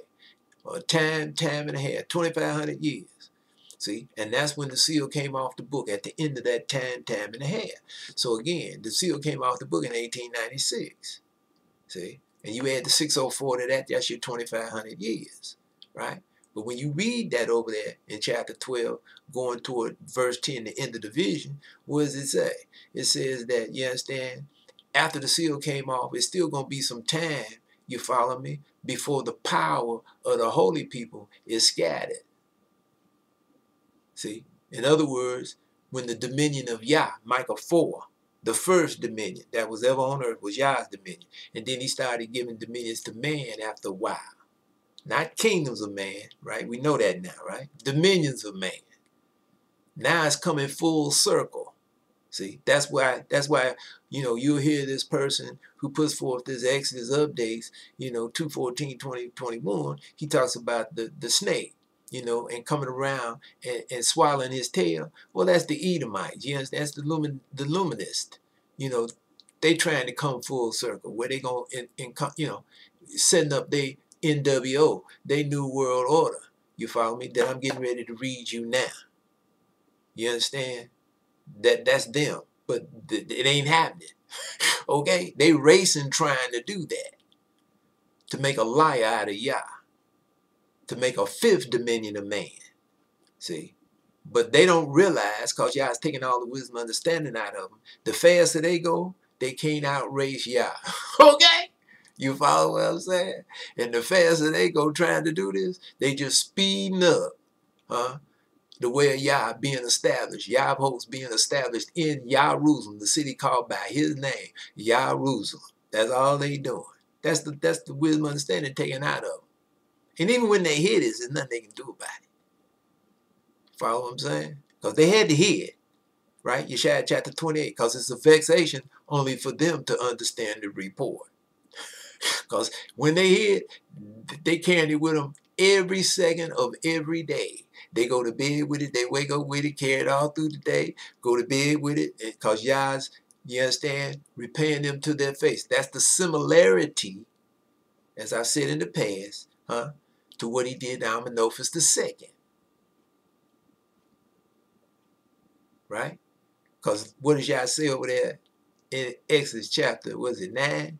For in this cause have I raised thee up. Well, in this cause has he raised up the head, uh, uh, uh, you know, from what it looks to me, the house of Rothschild, which is Jacob the Rothschild today. Because, you know, Benjamin just de Rothschild I said on last session, 57 years old, he just died here the other month. But he wasn't the head. You know, he was running the part of it, but he, he dead, 57. You know, like one of his folks, like a lot of them Rothschild died at early age. Like Nathan Rothschild, he was like about 57, 58 when he died. See, now Jacob the Rothschild, the Rothschild, he's still there. He at the head of this thing, and that's what I'm getting ready to read you now. Here, Jacob Rothschild explained how and why. Okay? See it? Okay? And uh, this is here, Jacob Rothschild explained how and why HenryMakow.com. Henry Makow, M-A-K-O-W.com. And this was February 5th, 2021. Okay? And we ignored him. The mass media creates a cognitive dissonance that prevents us from recognizing the truth when it is given to us. Okay? Now, this is Jacob Rothschild. It has been mainly the economic independence of most of the common people which makes them so unruly in these nations and likely apt to support the sovereignty of their own nations and local control, which is the main obstacle to our plans and precisely why the severe economic restraints have been necessary under the guise of the pandemic. If the people, and, and I say this, you understand, the people pushing back okay, against this pandemic, because that know that's what it is in many of these countries. And so that's why, you know, you know, with the illuminated Edomite, you know, you ain't gonna do what I say. You know, we, we got the dominion. You don't know it, so you got to do what I say. So since you ain't doing it, we're gonna lock you down and, and impoverish you. Okay, did you, you understand? See, so that's why he talking about their economic independence gives them, you know, makes them where they can push back, right? If the people do not comply, undoubtedly, a second wave will come their way. And with that, food shortage. That's why they've been taking all these farms over through the years and running the little farmer out of out of business. You know, I talked about that again here last session, right? About you know the the the, the, the brother farmer and how these brothers, you know, been you understand they wanted wanted Biden to put in this certain guy, but don't retain this other guy. Well, they say he they already knew about him. I talked about in the last session, right? See, and I've talked about it way back in the past. How they, you know, they created these super farms, put the little farmer out of business. See, that's why you had that farm aid with Willie Nelson and you understand, uh, uh, Whoopi Goldberg. You know, you're going around there doing them benefits. You know, and and uh, what's that Edom, little Edomite, the comedian? Can't think of his name now. You understand? Uh, uh, it escapes me. You understand? Billy Crystal. You know, he was doing farm aid. See, but but you see Billy Crystal and Whoopi Goldberg, they they slid to the side. Willie Nelson was still doing it, and what happened? They come down on Willie Nelson, right, and, and got him from some tax problems some years back. They was on his case. You follow me? Because they trying to help them farmers. All right. Now, so he talking about, you understand, if the economic situation don't do it, then we're going to drop some food shortages on, right? And complete government domination in order to usher in all of our proposed changes. Now, this letter from Jacob R. You know, Jacob Rothschild appeared on Rixon, R-I-X-O-N, Stewart's thetruthseeker.com.uk, September 1st, 2020, in response to my article, Is There Any Limit to U.S. Debt? This email was sent from an IP address in Surrey, BC. However, IMO, it was rerouted.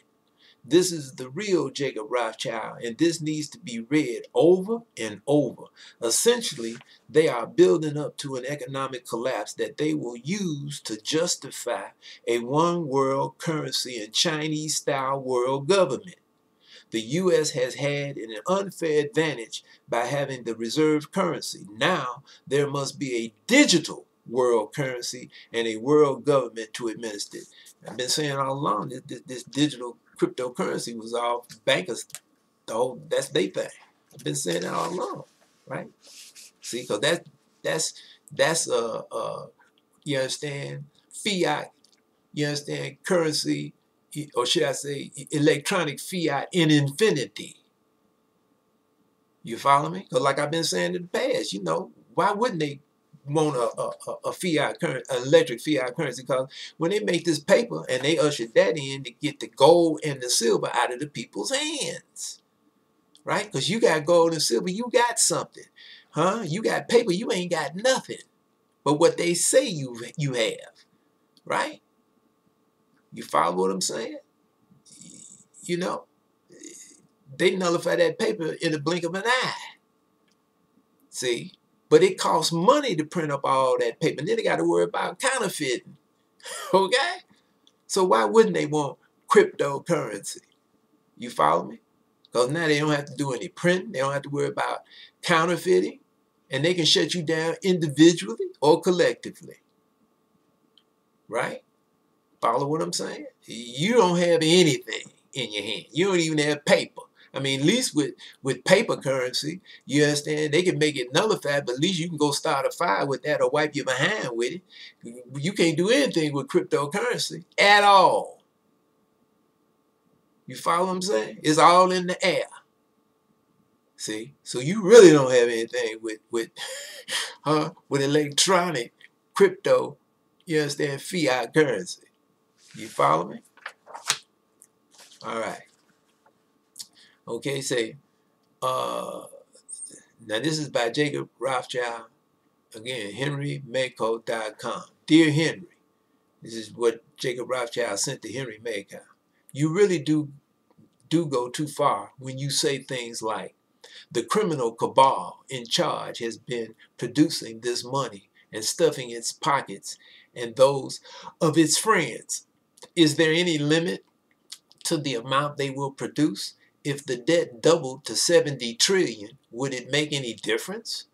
You cannot say our cartel or cabal is criminal. okay? Which it is, right? Don't you see we actually own all of the lawmakers? And besides, whatever we do is quite above any of the laws which apply to the common people. Hear that? As for, now this is Jacob the Rothschild talking to Henry Makow, right? As for stuffing our pockets, the families which make up our network of central banks throughout the world are in fact the main power brokers in the world. That is our right. You hear that? Your governments demand every year more than they can afford with one deficit budget after another. Huh? Always saying that this or that is necessary. By indulging them, we simply acquire more power and control. It is called ownership. See, but everything belongs to Yah. See, and Yah put them in the position they're in. They're the sword in his hand. You remember chapter 25, right? What are we to do? Give them our own gold or assets in their borrowing process and never see it again? See that? They got gold, they got silver, they got platinum. They got the copper. You understand what I'm saying? Check it out. That is one of the reasons why we have that money. It can't be made out of nothing, and we can make as much as your governments want, so long as they do not spend it on things against our interest or endeavors too far out of our control. Yeah? I'll read that again. That is one of the reasons why we have fiat money. Okay? It can be made out of nothing, and we can make as much as your governments want, so long as they do not spend it on things against our interest or endeavors too far out of our control. Now, as I've said in the past, when they saw Ben-Ami and them, you know, when Ben-Ami started writing the Edomite government for the right of return, and I know this is at least 66, okay? It might have been 65, but it's, it's definitely in 66 because they left here in May of 67 and went to Liberia. See? Now that's, you understand, those who come forth out of the waters of Yahuda, who stay themselves on the strong of Israel, Yah hosts his name, but not in truth nor in righteousness, right? Who called themselves of the holy city. That's the first 10 verses in chapter 48 of Yeshai. Right? Been talking about that for years, right? Follow what I'm saying? But I didn't know that Ben-Ami had been writing the Edomite consulate, you understand, long before they left here, until I read The Impregnable People by Nasi Gabriel. Okay? So the Edomites knew. You understand what I'm saying? See? So now, what happened? And I've been doing my best to paint that picture for all of you over the last few years, right? You follow me? When, you understand? And even before they left, the Edomites started really attacking us with the drugs, huh? You follow me? Drugs, drugs, drugs, right? The shots back then, for children going to school, our children going to school, right? The, the, the so-called black and brown of us, the Latino ones of us, and, and the so-called African-American ones of us, because many of the Latinos is Israelites too. I ain't saying all, just like all so-called African-Americans is not Israelites. You follow me? But the deal is they started attacking us big time, right? And they had this is all in the plan. Like I keep saying, Bertrand Russell, 1900, CEAD, three to four years after they saw us start awakening, when they knew the seal had come off the book. Right? Again, the first vision Daniel got. What did Gabriel say to him? Go thy way, Daniel, for the book is sealed to the time of the end. Man shall run to and fro, knowledge is going to be increased. But the book is sealed to the time of the end. See, you going to rest right? You follow me? You, in other words, you're going to transition eventually. You follow? Right? But then what does it say? It says he going to stand up, huh? You, you know, at the after the days dealing with the concerning the daily sacrifice, he going to stand up, huh? In his lot, right? Because because Daniel wasn't looked upon as a prophet. A lot of people wasn't privy to the book of Daniel at all back then. We know that now. You follow me? But Daniel understood all those visions and prophecies. The only one he didn't understand was the first one, 1136 to 1210, because that was the first one. But after that, he understood them all, and he understood the first one. See? You follow me? All right. So now, this is why the illuminated Edomite has, you know, took the gold and the silver out of circulation. He started doing that back in the 19th century and really put the clams down, huh? You understand? In, in 1933. ain't no fooling with no gold and silver. Now, he, he, and should I say, still had silver in circulation in the coin. And then he started taking them out the set. And when did he start doing that? Huh? Six after 1964. You follow me? Started taking all the silver out of circulation and putting out these Earthsates coins that have no intrinsic value whatsoever. You follow me? See? And then in August 1971, he took the gold backing from the dollar. And ever since then, huh, you, the, the, you understand, been experiencing massive inflation.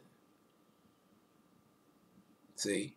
Now I was listening to Robert, uh, what's his name? Uh, wait a minute. I was listening to, I mentioned him in the past, right? Uh, hmm, and I was I was listening to some things last night, you know, cause uh, a brother had called me, and uh, he had just he called me the other day, and he was getting some silver, cause he had been getting some silver, you know, and uh, then he he called me. He's like, dude, I'm trying to get some silver. They give me a hard, they give me a hard time. So he had the woman on hold, right? So he, he had me on hold. I mean, we he's talking to me, and and they got that message, you know, that revival message, you know, keep playing as he was waiting for the woman to come back. And he was a little, little, little perturbed. And I told him, I said, you know, calm down, you know, don't get petulant. You understand what I mean? So the woman came back in there. He's talking to her, you know. so she's like trying, you know, stave him off. And, and, he's like, but madam, I've been getting this. You understand? So what's the problem? And so she said, well, we don't have the little small ones anymore. We don't have them little small, you know, uh, uh, containers of 25 uh, silver coin. She said, all we got is the big one now, 500. He said, okay, I, I'll take that. she, you know what I mean? He like, I'll take that. You follow? So she said, yeah, well, that that's seventeen thousand dollars. He, he like, okay, so so what? you know what I mean? And so she, so he, so he said, he said, madam, let me speak to your supervisor. So she said, hold on. So when he came back, I, I that's what I told him. I said, calm down now, don't, don't get excited. he, he, don't get petulant. He, he like, yeah, you know, but you know, I bet I said, yeah, but you know, just just chill. I said, she let's see what, what happened when she come back. So after about, I don't know, she was gone for about four minutes, and then she came back apologizing big okay? Because I'm like, yeah, I'm, I'm listening. And, and, and, he said, yeah. So she said, okay, you you be able to get to 500. You understand? The case of 500 silver you know, one ounce leaf. He said, all right, you understand? So she, he said, so I'm going to wire you this money. she said, okay. And, and she apologized profusely because she apologized to him about four times, okay? So when she got off the phone, he said, okay, you she gone. And so we started talking. I said, and I told him, I said, the deal is, I've been listening to these different economists and whatnot, these people who've been, you know, who's into this thing. And I listened to some more last night. And uh, they saying that this silver is blowing off the chart. They saying it's hard to get it now. And that's why they saying the over spot price is high. Eight to ten bucks an ounce. You got to pay, you got to pay spot. You follow me? Now see is hidden, like I said in the past. You follow me? You can't wait soon as you you you understand, you got to make your move. Cause now, as I said to him again, I said all this to you. I think last year that that train, that silver train, is moving. It's it's starting to it's picking up more and more speed. And now they're saying that this silver getting ready to blow off the chart. You follow me? They said it, it, it's it's happening behind the scene. That's why, and like I said to him, that's probably why you can't get the little small tube. You got to get that big one because people is trying to get it. And then what I heard last night, they saying it's hard, it's hard, it's getting hard to get silver now. You follow what I'm saying? See? So he was like, he said, yeah, well, that, I, I said, yeah, I said, you ain't gonna regret you know what I mean?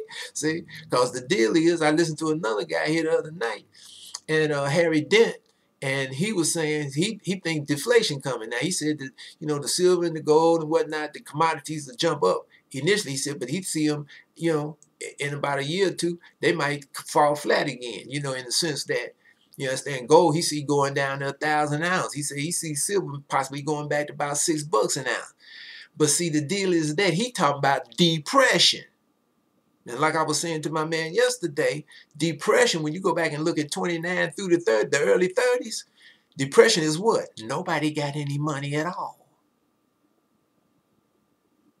Except those that's got it. You understand what I'm saying? So the gold and the silver go down. The gold go to a thousand ounce. The silver go down, and maybe it, like this Harry Dennis saying, it might not go to six. It might go be a little high. But the deal is, most people not gonna have any money at all. See, those of us who got silver and gold, you got some money. I don't care what happens. You follow me? Now the deal is what I listened to again last night. They saying, hey, this silver blowing off the chart. They see silver going to two hundred dollars an ounce, pretty quick, because it's in demand. See, because like this one person say, You understand? You need silver and copper for these electric cars and batteries and, and, and whatnot. You need you need an abundance of copper and silver. We didn't talk about you need silver in the past and copper for them catalytic converters. It's copper in that. And from what what we what I was listening to, you understand they say these new electric cars that these companies is coming out with because they they trying to get away from the gasoline producer, the combustible engine, right? So they coming out with more electric vehicles. You need even more copper for those, but you definitely need some silver. See, and these solar panels, and they saying silver is, is becoming very very scarce. See, because they got all these these paper ETFs out here. They said over the years, the last 10 years, JP Morgan Chase that had a silver shortage and had all these paper ETFs out here, now they done bulk their situation up. They got millions and millions and millions of ounces on, on you know, pallets in this big, huge warehouse, eh, you know, over there in England. And so they can cover just about all of the, the, the paper ETFs they got. Not saying they will, right? They say uh, where they were like uh, 30 or 40,000 uh uh, uh, uh, uh, ounces of silver short. Now they only like about a thousand. Because they've been sucking up silver, JP Morgan Chase, the last decade. And they say this silver now is getting ready to, to blow up big time. See? So, like I say, you know, you still might have some time, but you ain't got much. Okay? Now, uh, so, uh, you know, as I was reading this thing, right, they say they didn't want to give out gold and silver to the people. That's why they took it all off on out, of circulation, basically, back then in the late 60s and then the early 70s, right? All right. So, that you know, and, and, and even before that, they was giving out paper, paper, paper, paper. You follow what I'm saying? And then in, in 44, 45, you understand, with the Bretton Woods Agreement, you understand, the Edomites made the dollar king of, of the paper currencies, made it the world currency. You follow what I'm saying? Uh, now they blowing it out. That's why they just print and print. That check it, check it now. Okay, says, uh, also we do not simply give it to them, you know, that's the fiat currency, we don't give it to them or there would be hyperinflation all of the time and no confidence in any fiat currency. Okay, let me go back and read this previous paragraph again so you I don't want you to be confused. And I don't want to be. That is one of the reasons why we have fiat money. It can be made out of nothing and we can make it as much as your governments want, so long as they do not spend it on things against our interests or endeavors too far out of our control. Also, we do not simply give it to them, or there would be hyperinflation all of the time and no confidence in any fiat currency. Rather, we lend it to them such that if we ever called in all the loans, it would bankrupt every government which has been borrowing for years from our banks. Follow me? Get you in the debt right? But again, like I was, you know, angling to, you follow me? That's why they started taking all the businesses out of because they saw us waking up. So they they hitting at Israel. We're gonna take all the business out of it. We we we you understand? Not give them any jobs. So that they can make money and, and steadily study up on that they Israel and study up on us. That's what they didn't want. See, but they couldn't stop it because this is this is the hand of Yah. This is the will of Yah of hosts, the king. All right? Furthermore, we are able to charge interest on what we lend, which usually sustains the value of our own holdings in compensation for the masses getting all of their free stuff. See, free stuff like the stimulus coming, like the one I already had, right? For so many generations and not paying us back for the exercise of our God-like powers. You hear that? you know, Yeshaya chapter 14, right? He think he like the Most High in being able to create something out of nothing. You follow me? I hope you're listening to this, and you know you can pull it up and read it for yourself if it's if it's still up there to be pulled up, right? Phasing out of the U.S. dollar. Check this out. You have to realize that with the development of our central banking systems all over the world, and particularly through world development lending and our investments in places like China, the economy of the world has grown exponentially over the last 100 years. Presently, the US dollar cannot serve the world needs and is being phased out not with a whimper, but with the bang of a mushroom cloud in the creation of unlimited trillions. You hear that? That's why they blowing it out. All paper currency, and the dollars was the king of currency, right? So when it go, all the rest of them sink, right? For decades, we tried to hide what is now called the shadow economy where we worked with the U.S. Fed to create vast amounts of cash out of nothing to facilitate both business and political interests, particularly in developing and other irascible nations around the world. It made little difference to inflation as the money seldom made it back to the U.S. or to Europe, and it usually came back to our banks anyway. Since 9 11, when the loss of some of those trillions was being investigated, we have been more open as to the importance of always having enough money on hand to do whatever we want. And quite frankly, even if we were to make the US dollar debt to a $70 trillion, as you say, what would what we have found is that people around the world, despite complaining about our alleged abuses of power, still keep demanding the stuff, the, the paper. You follow me? Just like now, right here, right? It is very similar to the heroin industry. You hear that? Which grew out of our venture in China in the 19th century during the opium trade, the more you produce, the more people get addicted to the stuff. You hear that? I'm gonna read that again because you hear the phone back in. I don't want you. I don't want you to miss that. So when this goes out, I'm, I'm gonna, you know, I think this it stops now, right? I'm gonna read this again because I want you to hear that, right? It is very similar, you know, the addiction to the paper, the paper dollars and the euros, all the paper, right?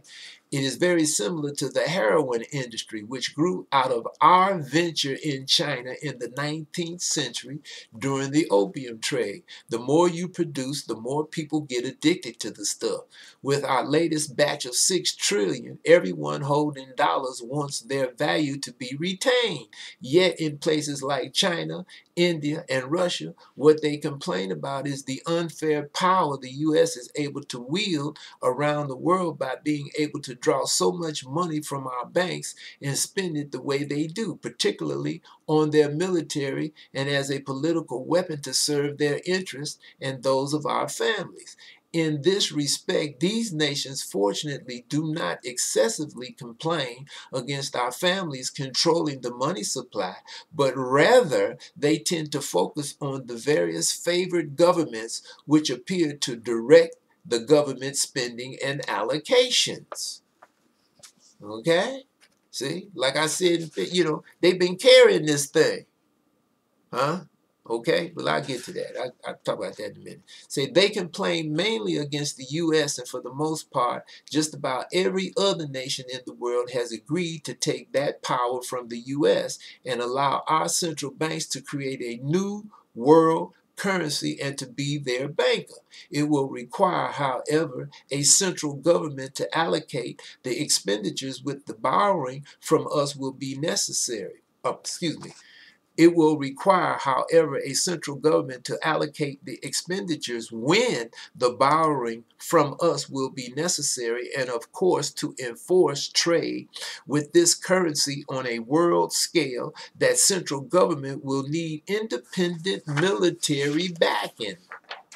See, that's why when people talk about that cryptocurrency, eh, these governments, you understand, you hear different economists, and I, I'm in agreement. They're going to control it. See, they're going to control this cryptocurrency. You understand? They ain't gonna allow people just be dealing with cryptocurrency and they don't control it. So all that stuff you hear Max Keiser and some of them talking about, especially Max Keiser about it can't be controlled. That's a bunch of nonsense. See, they gonna control it because they got the military to back them up. You follow me? For a good number of decades now, the governments of over 190 nations have agreed with this direction and the necessity of there being a one world government to ensure the necess necessary financial stability. They are all nations that are part of our web, which either have a firmly established central bank in our control or are completely indebted to us for all of our loans from institutions such as the IMF and the World Bank. Right? That's why Gerald Celente calls the IMF International Mafia Fund. okay? The engineering of these new arrangements which some refer to as the New World Order, however, could not be accomplished by fiat, like we create money. Various nations competing with one another for resources or territories will not agree just to a world currency or a world banking system akin to the U.S. Fed without a central world government for financial enforcement of trade and regulation. And even if they do not agree to a world government, quite frankly, places like China and Russia will only continue to feel the abuse of our powers being exercised by favored nations like the US, the UK, and Israel, the Edomites. Right? See, because the illuminated Edomite knows he got to keep control of Israel if he can. That's the key. I said that in the past. You follow me? That's why they, he's fighting. He, trying to keep Yah from being established in Israel. And he can't stop that. All right? Simple as that. Because Yah controls them, him, them, right? Then, apart from the differences between the various governments who are in our direct and indirect control, there are the masses of ordinary people in the world who still believe they have a say in such affairs, which are in fact many steps removed from them. That's why I say voting is totally, you know, lunacy. It's a futile gesture. Okay? These people who vote and think they got something, they don't pay no attention to that. That's just an act of futility. That's all game smoke and mirrors, right? You hear that? You, you, you see what he said? Huh? You understand? Then, apart from the difference between the various governments who are in our direct and indirect control, there are the masses of ordinary people in the world who still believe they have a say in such affairs, which are in fact many steps removed from them. Now, how true is that? Right? Such a world government that our families have envisioned will, ha- will have to give them something in exchange for giving up their local and national controls over trade and commerce. In this respect, we have exercised our powers of creating hundreds of billions of mainly hundreds of billions mainly of far fiat created dollars and loans to fund not only the UN but also all of its agendas to provide credible, urgent, and existential justifications for the necessity of a one world government. I'll read that again. Such a world government that our families have envisioned will have to give them something in exchange for giving up their local and national controls over trade and commerce. In this respect, we have exercised our powers of creating hundreds of billions, mainly of fiat created dollars, and loans to fund not only the UN, but also all of its agendas. You hear that? The UN, they control all these governments, right? To provide credible, urgent, and ex existential justifications for the necessity of a one world government. To supplant many of the alleged sovereign of nations, particularly in the West, it has been necessary for us to be very generous, allowing the borrowing and indebtedness to us to become virtually astronomical. See? But they got you in debt, because this is debt paper that they're using. All this is debt paper. You follow what I'm saying? Euros, dollars, you understand what I mean? Uh, sterling is all debt paper. All right? So they let you buy as much as you want because you in their debt. See? But at some point they call in the debt. See? As the governments of the nations have become subservient to us, so also are the people of those nations. You hear that? whether our sustainability measures are actually necessary or not to cure the problems, like world warming or inequality, which issues are NGOs, right? Government agencies, media, and corporate minions have developed and featured in their various campaigns, what really matters most to us is that there is some real substance to there being a one world government. We need all the support we can garner through our efforts to convince people everywhere of the necessity of a one world government. Yeah, it's going to be a one world government. Yah's government. Okay? Not, not yours, Esau. Right? Alternatively, if the people reject our proposal, most of the governments in the West are at the mercy of us calling in our loans and bankrupting them, whereas the other nations in which we have less control are at our mercy and discretion of continu continuing in the present system with the dominance of the U.S. and the very precarious U.S. dollar, which in any case has had its day in our view. You hear that? Mm-hmm. so they, they like blowing the dollar out. It's they say it's had its day in their view, so they blowing it out, right? Pandemic. Of course, the COVID pandemic is a pandemic, and we through our various think tanks and networks have meticulously planned it over decades. See, that's why I say they've been inseminating this, these germs in people with these flu shots and, and other kind of shots you know, uh, uh, uh, rubella and mumps and measles and chicken pox. You know, they've been inseminating that into people. You know, like like the brother said to me, you know, this brother said, I think it's under time release, release Yahoo. I said that here last year. Right. You understand? They've been inseminating, like Bobby Kennedy Jr. said. They inseminate into you when you take these flu shots. You follow me? Okay? Now, that's why they, they took Bobby Kennedy off Instagram. They didn't want people because about a million or so people looked at that. And they, they like they took him down. See? Okay? This is much more difficult to achieve in nations where the people think they have a semblance of freedom. You hear that? And that is why the governments in these nations have been so extreme with the fear and control tactics we have ordained.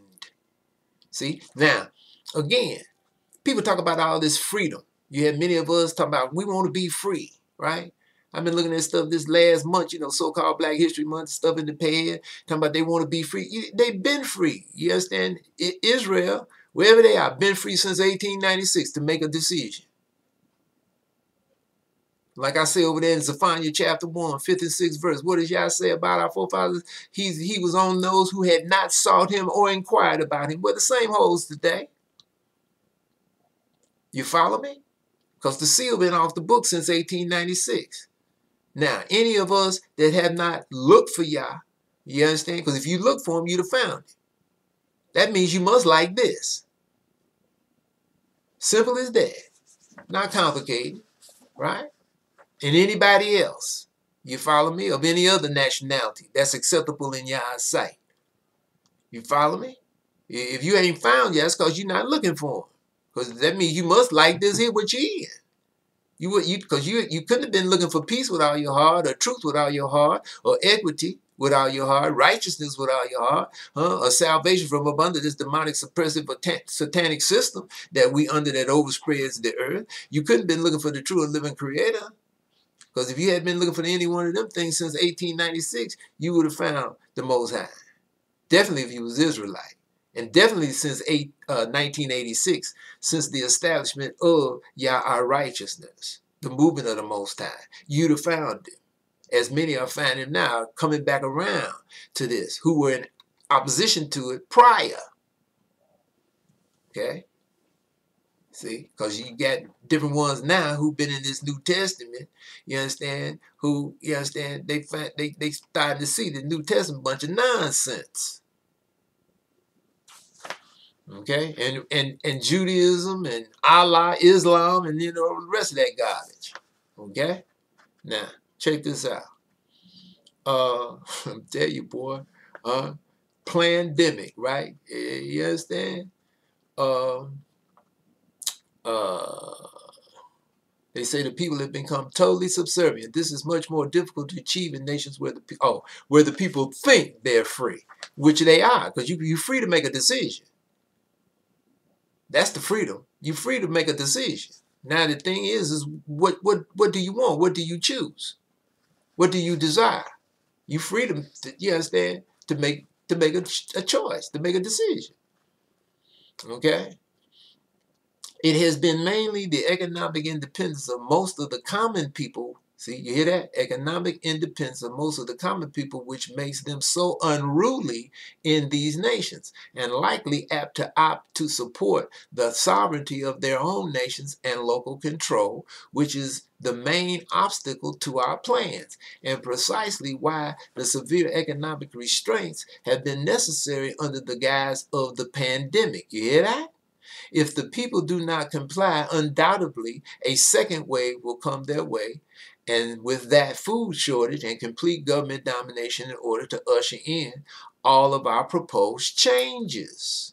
One of the most trusted agents who can see the light for a much brighter future, Carl Schwab of the World Economic Forum, has invited more people waking up to the facts of our virtually complete monetary control to join in with the Great Reset and to welcome in our new world order and our continued running the world, but on a much vaster, greener, smarter, more equal, and more centrally controlled scale, mainly by our families which have served you so well all throughout the 20th century until now. See, think they like, yeah, they think they so smart. All right? Now, this last page, I'll show it to you and then I'm going to read it to you. Okay? New World Order UN Agenda 21 2030 mission goals. One world government, one world cashless currency. That's the digital, right? One world central bank, one world military, the end of national sovereignty, the end of all privately owned property, the end of the family unit. They started that a long time ago. Depopulation, that's the pandemic shooting you with all this mess, right? And in other ways too. Depopulation, that's the drugs, all the stuff, right? Legal and illegal drugs, right? Depopulation, control of population growth and population density mandatory multiple vaccines. You hear that? Universal basic income, austerity, right? Microchip society for purchasing, travel, tracking, and controlling. Implementation of a world social credit system like China has. Trillions of appliances hooked into the 5G monitoring system, Internet of Things, right? Government raised children huh? DCFS, right? Government owned and controlled schools, colleges, and universities. The end of private transportation, owning cars, etc. You hear that? Because from what I hear, they got a lot of cars that haven't come out yet. You understand to the to the public because they they don't have the chips for them. Okay. Uh, all businesses owned by government corporations, the restriction of non-essential air travel, right? Human beings concentrated into human settlement zones, cities, the end of irrigation, the end of irrigation, right? The end of private farms and grazing livestock. They've been doing that for years. You understand? The end of single family homes, right? And all this, you understand? Uh, foreclosures with the, the subprime, you know, still going on, right? Restricted land use that serves human needs. The ban of natural non-synthetic drugs and naturopathic medicine, your herbs. Because they want you on the synthetic drugs that they create that's got side effects that's not good for you. Now that's the real deal. That's what's going on. The pandemic. Okay? And this is the illuminated Edomite Again, they can't move unless Yah move.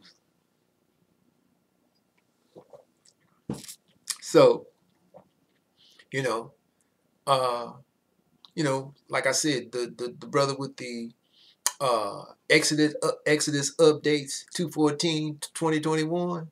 Like I said, he's got some discrepancies and some convolution in there, as I pointed out. Uh, but I hope he's I hope he's right. like I said, it's fine with me. You understand what? Because in my mind, I, am you know, in my heart, I'm ready to go. But but Yah decides that. Okay? So so like I said, you go there check his situation out for yourself, right? Uh, maybe you can pull up this, you know, thing, uh, henrymakow.com, right? And you got this thing, if they haven't taken it down, Jacob de Rothschild sent to him. You follow what I'm saying? You can read that, what I just read for yourself. But this is what's going on. It's been going on, like like I, you know, like Rothschild said, they've been working toward this. He said for years, right? Basically through the 19th, you know, 20th century and into the 21st century, but they've been really working for, for this, you know, for man over 2,000 years, right? As it said in Yeshaya chapter 14, what did Yah say about him? Lucifer, son of the morning, holder of the light, but adversary to him. They think they like me. Now Yah is, is, showing them that they not like him. You follow what I'm saying? He only built them up to bring them down. Just just like, you understand, what he said to Amenophis the second over in Exodus, was that chapter 9? In this for in this cause have I raised you up. With your arrogant, huh, self-conceited, you understand, self. You think it's all about you. You think it's about you. It ain't about you at all. Yah showing them it's about him. That's why they had to hear the report. And it's a vexation only for them to understand the report because they understood it. See? That's why he didn't want to believe it when he first saw Yah righteous pop pop up. You know what I mean? He stayed of his rough wind in the day of the east wind. See, and during this period, Yah's been purging the YHWHrusalem movement of all aberrations, defects, and and and and uh, uh, ways of the heathen. You know, Jeremiah 10, right? Proverbs 331, right? Envy not the oppressor, choose none of his ways. That's why we don't get into these stocks and bonds and all that nonsense. You follow what I'm saying? You know, but we got paper, and, and, and you know, those of us who got paper, and those of you who've got paper, you see what the handwriting on the wall. So now, hey, let me go. You understand? Get me some metal, some some commodity, something physical in my hand. You understand what I'm saying? Because they getting ready to they blowing the dollar out. Where pretty soon massive inflation coming. Just like back there with the Weimar back in, in 1921, 22, 23, 24, 25 with Germany. Okay? You have people that have dollars, but you're going to need a boatload of them to get a loaf of bread. See? That's why you go to metals. Silver, gold, gold, silver. You know, even if you got some copper. you understand what I mean? Because copper going up. They was talking about that yesterday what I was listening to. You follow what I'm saying? Platinum. You understand? Palladium went up. I don't know really what they used palladium for, but palladium was going up here here last year. You understand what I mean? Platinum. See, th these is precious metals. See? See, because again, as I point out in the past, you go to uh, uh, Genesis, what's that chapter? Uh, was it 13? You know what it said about Abraham, right? You know, he was he was rich in what? Uh, uh, what is it? Uh, chapter 13, verse 2. Abraham was very rich in cattle, in silver, and in gold. Don't say anything about cryptocurrency. okay. Uh, he wasn't dealing with no fiat anything. See what I'm saying? See, so so again, this is what they doing now, quite naturally, as I've said in the past, right?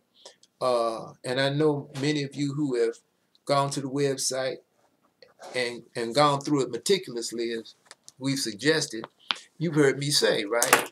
Uh, you know, when we were doing the shows with Mark Sims, right?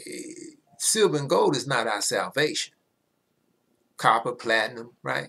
Just like the cattle and the silver and the gold wasn't Abraham's salvation. He understood that, and we have to understand that. Okay? It's not our salvation, right? But it doesn't make sense, right, to have paper and you see what's going on. You follow me? And you're going to sit there on the paper and watch it just melt away in, in buying power where it becomes basically worthless. That don't make any sense, does it? That's why Yah, again, the beginning of wisdom is the fear of Yah, right?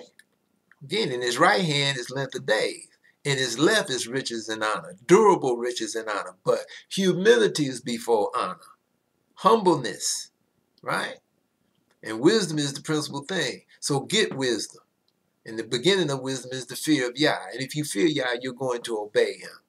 Again, Deuteronomy 30, verse 2, with all your heart and soul. And he becomes your strength and shield, right? But as you become compliant, again, by this therefore shall the iniquity of Zion be purged. Yeshaya chapter 27. You follow me? Because again, he's hardening the Leviathan's heart, just like he did Amenophis II. See? But uh, in my mind, how I see it, when Yah judges the Edomites that's in the land, because he going to do that, as I said in the past. When Yah ready to run the Edomites out and burn them up in their land, ain't none going to be able to stop that. You follow me? So when he does that, that's the you know to me that's tantamount tantamount to the tenth plague on Egypt. That's when just like Amenophis second was humble and he sent for Moshe and Aharon in chapter twelve Exodus. And what did he tell them? Take everything, take everything, just leave, leave now, right? And what's the last thing he said? And ask y'all to bless me also. And that's similar with this, you know, who's ever the head of, of the house of Rothschild, you understand? Who's ever the Leviathan, that's what he gonna say. Yeah, you understand? In my mind, when Yah just run the Edomites out who they support constantly, like I just read, what what do they say about eh, eh, who, who they give the, the, dollars to and who you know they backing? U.S., the U.K., United Kingdom, England, right? Britain, right? And Israel, which is really the Edomites, the Israelis, because they not Israel, we are. See, now I've been waiting to hear, you know, one of these elite or some of these elite actually crack, see, on this power elite. And I heard it here last Friday. All right? Gerald Celente, an elite, elitist. Okay, I don't know if y'all are aware of Trends Journal. I mentioned Gerald Celente in the past. Many of you probably aware of Trends Journal, right? You might even subscribe to it. But we watch Gerald Celente. Okay, every week we, we'll turn him on, listen to him. He's upset. He's Italian. Okay, he upset. He all into JC. That's why his his vision is skewed. But last Friday, you understand? You can probably pull it up. He he was hot, and, and he said, "These people, you understand? It's the bankers. They the government. They running everything." See, he said, and and they they say they Jews, but they not. That's that over there in Revelation. See, he, he confused right? He, he, they say they Jews, but they're not. See, they really out of Ashkenaz. See, they converted to Judaism back in 700 CEAD. That's what he said. See, now they he ain't the only one. I've been waiting for one of these elitists to say that, or you know, something on that order. See, let you know they they know it's the, the, the bankers that's running this thing. You know what I mean? Got dominion and been and pulling this stuff. See, and he said it. You, you follow me? Because many of them, they know some, but they're afraid. Some of them probably know more than him, but they're afraid. See, but he said but he's still wrong. It makes me think he been reading, you understand, Koestler's book, The 13 Tribe. See, because he can't see straight because he in the JC, because he didn't said that a number of times. He, JC is his savior. He don't realize that the Edomites wrote that nonsense. See, that's why his vision is skewed right? But he's upset because he knows his life, and he talks about he, his life is, is, you know, as he knew it is over with because he got money. You know, they stole a lot of his gold with others back there in 2010 with that MF Global, John Corzine, ex-governor of Jersey. We didn't talked about that in the past, right? Follow what I'm saying? But is not the only one. Now, you got some of them elitists that's elite, and they know more than Celente. They know that these are Edomites. Huh? You follow me? Probably know they're Amalekites. You understand? Very well could be listening to Yah righteous through the years. And that's why they've become knowledgeable of this. Okay? Like basically all of you out there who are listening and who hear this. See? Because again, like it says in the 53rd chapter, Yeshaya, right? Who have believed our report, and to whom is the arm of Yah revealed? If we grow up like a tender plant or root, what? Out of dry ground. That's why, again, anybody that really understands chapter 42, Yeshaya, Isaiah, 49, Yeshaya, Isaiah, and 53, Yeshaya, Isaiah, if you really understand those three chapters, there's no way in the world that you could be into the New Testament. Because there's no way in the world that those three chapters you can see talk is talking about, you understand, the main idol, JC, of the New Testament. It ain't no way he he he fulfills any part of them three chapters if you know the story of JC. You follow me? See? Because what does it say in the 53rd chapter of Yeshaya? Huh? I, I go here and read it verbatim. Because I want you to hear this. See? Because this, I, I see this more and more. You follow me? Now check it out. Who has believed our report? And to whom is the arm of Yah revealed? For he shall grow up before him as a tender plant and as a root out of dry ground. He has no form or comeliness, no beauty, because he a nigger, you know, like the rest of us. Niggers, coons, jigaboos, you know. You follow me? Uh, and when we shall see him, there is no beauty that we should desire him, because he's just like all the rest. He don't even know, you understand, who he is, what he is. You follow me? You know, for the first portion of his life, right? And what does it say? He say, uh, he is despised and rejected of men, a man of sorrows and acquainted with grief. And we hid, as it were, our faces from him. He was despised, and we esteemed him not. See, because when he, you understand, when this seed of David, the stone cut out without hand, when he, you understand, sought Yah out, right? And Yah brought him to this book, and then he got so far and, and, and then understood, I'm Israel. You follow what I'm saying? My people of Israel. That's why we catching all this heck. And then you understand he he come to find out this book got the key. Because he also finds out, which he already had, you understand in his mind, that this JC thing was nothing but nonsense. Well, he confirmed that, right? And, and, but then he found out, you understand? Because that's, you know, what, you know, was the precursor to reading the book. We're getting into this book to bust it out. You understand what I'm saying? To make it of none effect. But in so doing, he figured that the JC thing was a lie. He found that out, but he also found out found out who he was, right? And then found out what his purpose was, was to serve Yah, was to be about the Most High. That's why when you read Yeshaya chapter 49, what does it say? Yah hath called me from the womb. That's his maternal mother. From the bowels of my mother have he made mention of my name, right? That's, huh, our forefathers. That's why you go over there, you read me chapter 23. What does it say? What does Yah say? And this, he talking about, you know, I'm going to bring forth my my servant, right? Fifth and sixth verse. And this is the name wherewith he shall be called, this seed of David. Yah, our righteousness. Right? It says the Lord, all right. You got to do some homework, right? And you come to find out they, you know, the illuminated Edomite called Masoretes, fourth to the ninth century CAD, took the name of Yah out of this book of remembrance, so-called Old Testament, King James Authorized Version, in over 6,800 places, 6,823 places to be exact, and replaced it with El, right, and Adonai, which evolved into God, huh, the strong one, Adonai, the Lord, the Master, and that's Yah, right? Follow what I'm saying? So when it say the Lord our righteousness, Yah righteousness. See? But you get many people who got an illumination through this movement. You follow what I'm saying? But they won't direct you to this movement. They won't say to you, this is where I got it from. I got it from that Yah righteousness. They won't say that. That's what it's just, that's what I just read, right? But it says what? Yet we did esteem him stricken, smitten of God, of Yah, and afflicted. Huh? You know, they was adversarial. Now you're getting more and more coming around to acknowledging or, or kind of acknowledge. You still got plenty adversarial to the movement, right? But you're getting more and more that's coming around because over the years they've seen what they said, like, man, you understand? Boy, you you know, you said this, but like I said, you got so many. They got things through this movement that they didn't see prior, right? But but they won't give this movement any credit. See, which again, they don't have to. you know what I'm saying? As long as they be about the most high. Give the credit to Yah righteousness the King. Because that's that's what you see over my shoulder, right? That's who we get the credit to. That's who deserves it. That's the only one can get it.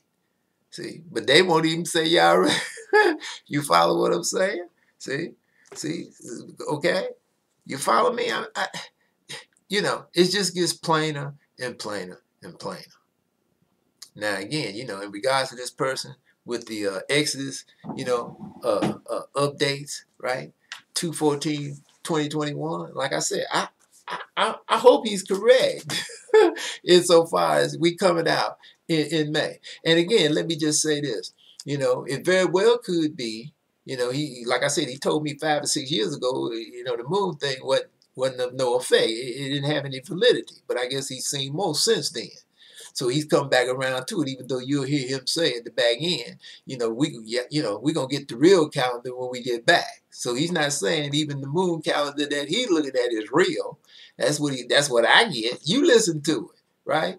But he's predicating this thing on, he said, because he see this number 27 in so many places, chapters and verses, right? But then he said that this, this uh, uh, you know, red moon. But like I said, I've, I've never seen any kind of red moon prophesy, prophecy, you know, talking about we coming out you know, in, in accordance with the red moon. But this is his problem. Oh, you know, this is what he sees. He said, Yah let him see this. Okay. Like I said, I, I, I hope he's right. You understand? I'm ready to go. you know what I mean? Uh, and hope Yah allows me to get there. You follow what I'm saying? Because again, they, you know, Yah's going to bring him to his movement because he's salvation. He and he alone. Simple as that. Okay? So now we'll see. Right? Because like I said, you know, this person last April you know, last year brought this to me around April. Like, yo, we coming out by September this year. I'm like, really? He said, yeah. I'm okay. He didn't really explain it. He didn't really get into it and give me no chapter and verse. Like this brother's, you know, with this Exodus update 214 2021 is giving you chapters and verse what he predicating it on. All right, we'll see. I hope he's right. But I, I, I still say the Edomites got to be judged. Now, so so all of you you know, beam in and, and be watching. Okay? We got about three months, a little less. Right?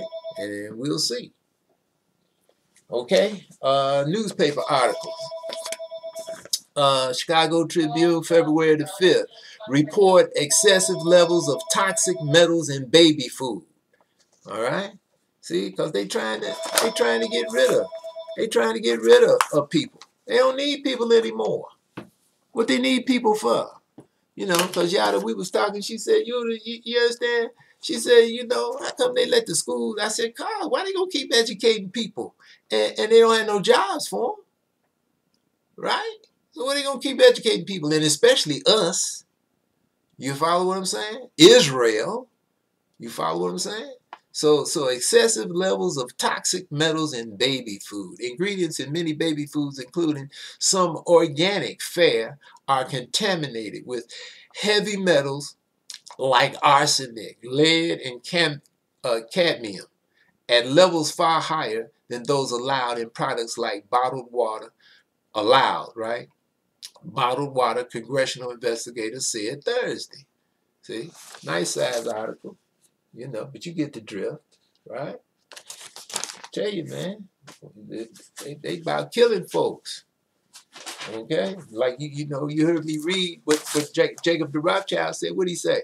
He said, "You? We put that heroin on the Chinese back then in the 19th century, 1800s, huh? Made I didn't talk about it before. Made the, it was like over 33 million heroin addicts, opium addicts, should I say, in China back then. Okay, went in and took over them three cities: Canton, Peking, and and uh, uh, Shang. What was it? Uh, Canton, Peking, and uh, Hong Kong. Took them three cities over, right? And, and got plenty of them Chinese people's minds, the young folks' minds messed up over there in Hong Kong to this day. They they they don't want to come up under their government. They want to be like the West, right? You know. Chicago Tribune, uh, Friday, the, uh, February the 5th. Boeing to outsource IT work to Dell, eliminate 600 jobs. Okay, and this is what you see. There's plenty of these corporations and businesses steadily cut back, cut back, cut back, cut back, huh? Laying off, more and more people out of work, huh?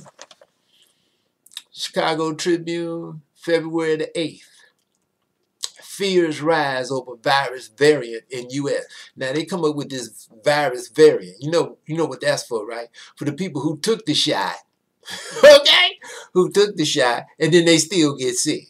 And oh, it's a much more virulent variant now coming out of where? South Africa and Brazil. Go always put it on coming from peoples of color. You understand what I mean? See, well, I took the shot, I come I'm sick. Oh, well, see, that's the new variant. It's more virulent than the first one. You understand? I always got something to tell you, some more nonsense, right? Uh, Yellen, Janet, Janet Yellen, right? She's the secretary, first first person to ever be over the the the the, uh, the, the Fed, be you know, uh, uh, uh, uh, president of the board of the Fed to be Treasury Secretary. First person ever, Jan Janet Yellen, Edomite, right? U.S. could restore full employment by 22. Well, what these people gonna do? What these people gonna do till then? I'm starving like mom and out of work. Huh? Looking at six, seven, eight months uh, overdue rent, mortgage payments, or whatever. Huh? I'm telling you, you know. But but again, this is from Yah, right? Making his sword to rest you understand? For judgment, you know, his, his, his judgment to rest for a light to the people. Right? Making his judgment rest for a light to the people. Yeshaya chapter 51. Pretty sure that's 51, isn't it? I'm right here. Let me see. Uh, yeah. Verse 4 Hearken unto me, my people, and give ear unto me, O my nation, for a law shall proceed from me, and I will make my judgment to rest for a light of the people. Okay? And how long he, you know, Yah righteous been, you know, put in position where it can be found. Uh, some found it when he was just in the telephone book. From 86 huh, to uh, 2004. Uh, and then in 04, we, we sprinkled the monarchies. We didn't sprinkle Tarshish, Spain, though, because like I pointed out, you know, earlier, right? Pointed out in the past, Yeshaya chapter 66, right? Spain wasn't supposed to get sprinkled, who have not heard Yah's fame nor seen his glory. That's why over there in, in uh, was that 60 verse 9, right? I don't look at that, you know, as this, you know, brother with this Exodus updates, how he looks at that 60 verse 9, you know, Tarshish first, that, that's Tarshish coming in the second gathering. You follow me? And, and those of us from Tarshish coming with their silver and gold in the second gathering because they're coming what? To the name of Yah. That means Yah already has to be established in Jerusalem. Okay? But, you know, you look at it. Uh, also selling organs in order to survive. You hear that? That's how bad things are. People selling their body parts to get some economics. Huh? Booming kidney trade preying on Afghanistan's poor. And I've read articles about this in the past, some years back. People selling, you know, their body parts to get some money, huh? to get some, some kind of economic currency so that they can buy food or pay their bills, right? It says amid the hustle no, amid the bustle of beggars and patients outside the crowded hospital here, there are sellers and buyers casting worry eyes at one another. That's don't that sound don't that sound like uh, when we read about our forefathers, children of Israel, when they were under the siege, looking at each other with worry eyes because they were so hungry. They, they was waiting for somebody to die or kill somebody, kill a baby to eat the child in secret or to eat the person in secret. Don't that sound like that? Huh? Said the poor seeking cash for their vital organs and the gravely ill or their surrogates looking to buy. Huh? Now that comes out of Herat, Afghanistan. And, and, and you know, the, uh, uh, you know, United States Army been over there bombing Afghanistan how long now? How many years? How many trillions of dollars they done spent doing that? Follow what I'm saying? Also, the UAE, you know, the United Arab Emirates, China, U.S. spacecrafts on brink of reaching Mars. Now, you know that's a lie. See, that's a straight out lie. Okay, because they can't get outside the dome, and the sun and the moon and all the stars and, and, and whatnot is outside the dome. Okay, that's a straight out lie. But they try to keep you, you know, you understand? keep you thinking that they doing such great stuff. They like the creator. You know what I mean? They going out to different planets and all that nonsense. You know? Uh, Chicago Sun-Times, February 9th. Family of man who mistakenly thought he lost $700,000 sues Robinhood. You know, that's that game they just played. Because, uh, you know, with that GameStop, right? And, and Reddit and Robinhood Financial right? The family of a novice stock trader who killed himself. You hear that? Who killed himself after mistakenly believing he lost more than $700,000 are suing Robinhood Financial, claiming the popular stock trading platform's business practices directly led to their son's death. And they ain't going to get a dime, more likely than not. Or they might just get a dime. All right? See, because he that shaky, you understand what I mean? But that's what happens. People lose all this money, they, you know, they just go crazy, jump off, jump off the cliff. You understand? That's what was going on. You understand? For those of you who knowledgeable of the Great Depression back there, 29 through the 30s, huh? You follow me? That's what plenty people did when they went broke. You follow me? They committed suicide. And he thought he didn't really lose 700,000. He thought he did, and he, he killed himself. Because, you understand, you get a lot of these people, what scared them more than anything is being impoverished. Okay?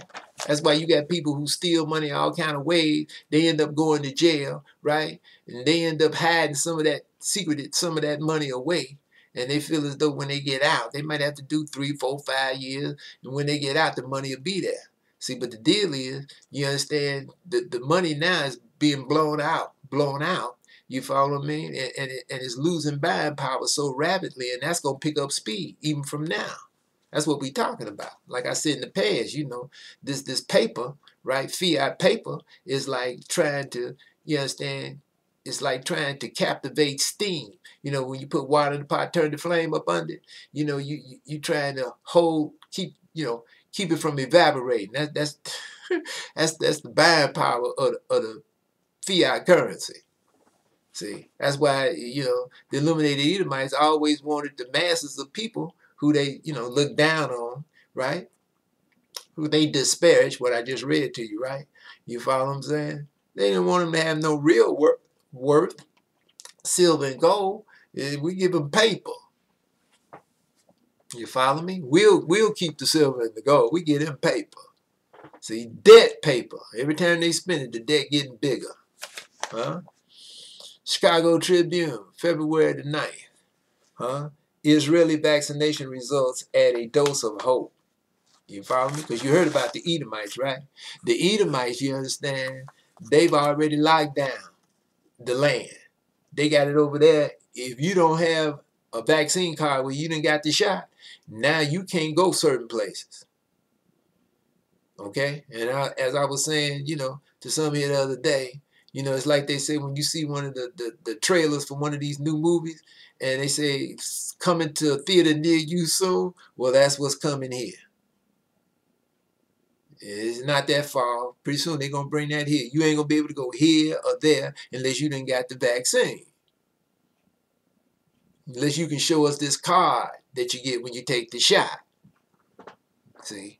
That's why here a few weeks ago, when we was on the phone, you know, Elia and Yadid and myself, and Yadid said, well, you do you think it's being hastened? You know, like I predicated on us coming out 2016, 2018, hastened, you know what I mean? She said, you think it's being hastened? I said, absolutely. She said, well, why you think that? I said, because of the pandemic. okay? See? Because I didn't say it. I, I know they coming. You understand? I said, I know I said it last year. I know they coming with this. You you understand? You got to take this vaccination, and if you don't, you can't go here. You can't go there. You can't do this. You can't do that until you take the shot. Well, I'm never taking a shot. Okay. My Isha in the room in there, she ain't never taking a shot. If I got anything to say about it. Simple as that. Okay? They're not shooting us with anything. Now, so right there, right? Yah's my my strength and shield. Yah's her strength and shield. Now, so, you know, we looking to Yah at what? What does it say in Jeremiah chapter 30, verse 7? The last that day is great. It's even the time of Zion's trouble, not your cold. But they gonna be what? They gonna be saved out of it, and that's what we waiting on Yah to bring us up out of here. See, and, and wherever we are, those who totally committed and submitted to Yah, you follow what I'm saying? With all their heart and all their soul, who've been going through this maturation, going through this refinement, and purging oneself of the ways of the heathen, like we are instructed to do in Jeremiah chapter 10, Proverbs 3:31.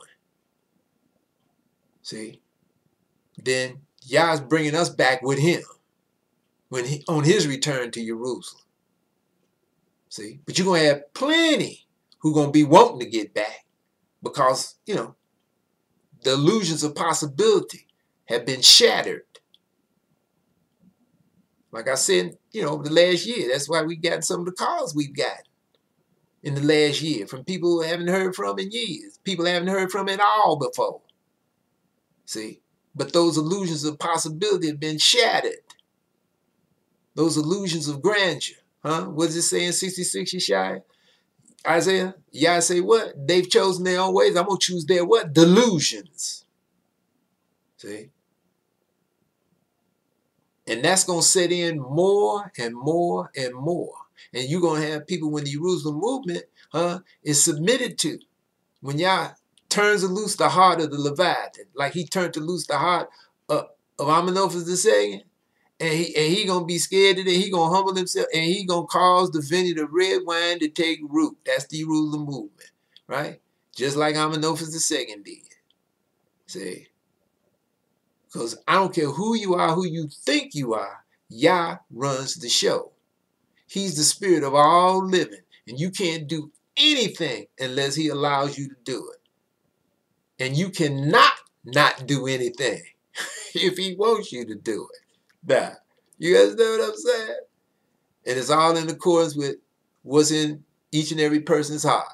Male, female, young or old. I don't care what your nationality is. It's just that simple. Now, as I said earlier, and I, I left it, you know, that Robert Kiyosaki, he was on, I was watching him last night on, on Stansberry Report with Daniela Cambone. And that Robert Kiyosaki, boy, he, he's funny. What I mean? Because he, he said he been buying silver. He said he, he, he been buying silver and gold since 1964. okay. He said he ain't never been in the fiat. He, he said he, he peeped that a long time ago. All right. And uh, he was talking about, you know, I talked about before. He said he an ex-marine. He he got bullets and whatnot. He said he had bought up a bunch of bullets when they was a dollar a shell. He said now they ten dollars a bullet. And he said he's selling them because he said he got pallets of, of shells he bought years ago. He been buying them up, and he's selling them ten dollars a bullet. okay he making money coming and going. But he said he, he silver and gold. He said he, he been buying it, storing it up. And he laughing at the people who've been making fun of him all these years. See? See? But see, I don't I don't get like that. You understand? I you know what I mean? Because what for? You know what I mean? It's not just like I, I heard uh, the Israel of God's guy Bowie here uh, in the Black History Month. He did this thing and he was they went to that that uh, place over in Yeshaya where they read it where it say, and we gonna boast ourselves. They didn't understand what that was saying at all. Because Israel don't boast itself. We humble. We we don't exalt ourselves and you know look down our nose at nobody or lord it over people. We don't do that. We understand. See, as I said time and again through the years, we lift the bar to its highest level, understanding. This is not about love, it's not about hate, it's about understanding. See, and when you see that over there where it says we gonna boast ourselves, I read it what I'm talking talking about. Okay, uh, it, it's it's not meaning like you know people take that right. Uh, what it's actually saying when you look it up in the Strongs, right? It's actually saying we're gonna change places, right? Because it says something about let me let me find it. It's over here in Yeshaya. I know I'm close to it. Uh, uh, let me instead of just keep trying to find. Let me uh look it up in the Strongs right quick. I tell you, the Strongs is worth its weight in gold. You know what I mean? You got to watch it, but once you learn how to, you know, deal with it and understand it, right? Then uh, it's a it's a very useful tool. Okay. Uh, boast, boast, boast, boast, boast. There it is, 61, and I was right there. You know, but sometimes, like I say, when you're trying, trying to, uh, you know, see something, you can't. Uh, uh, wait a minute. Uh, you know, it can be right there in front of you, but you can't really, you, you can't see it because you're looking for it. So, you know, well, there's a lot out there. It's a lot of information. It's 61.6, Yeshaya. Okay? And you see what it says, but you shall be named the priest of Yah. Men shall, now see, this this YHWHrusalem movement. Okay? Uh, Men shall, but you shall be called, named the priest of Yah. Men shall call you the ministers of our strong God, right? You shall eat the riches of the Gentiles, and in their glory shall ye boast yourselves. Now they read that in Israel of God, they didn't know what that was actually saying. And that, actually what that's saying is, and in, you understand, uh, and in their glory shall ye change places. That's what that's actually saying. See, just like I mentioned earlier about, you know, over there in, in uh, Exodus chapter 12, when it say morning, they didn't come out in the morning. They came out at night. You follow me? After the Passover. As soon as the Passover was over, they came out. At night. And it wasn't the middle of the night. See? Because like I said in the past, that time of the year, it's about 11, 11 miles of dark. They didn't come out in the middle of the night like five and a half hours into the night. They came out at about two, two and a half hours, you know, after Passover. Maybe three tops. They came out. They was coming out. See? And when people say, well, you know, that that's two, three million people. How they move that fast? When when Yah, when you with Yah, huh? He's the spirit. He moves things fast. You follow what I'm saying? Just like he moved that two, three million people, huh?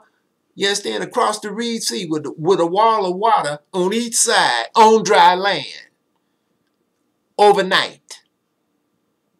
And they went from one side to the other. And if you look at that Ken Fisher documentary, right, you can see that that's that's a nice little piece from the Egyptian side, you understand, to the other side. See? But but the spirit of Yah moved them. Huh? Because when the when the sun was coming in and the light was getting ready to break, they was just coming on the other side. They was just the last of them was just coming up, you understand, up on the other side.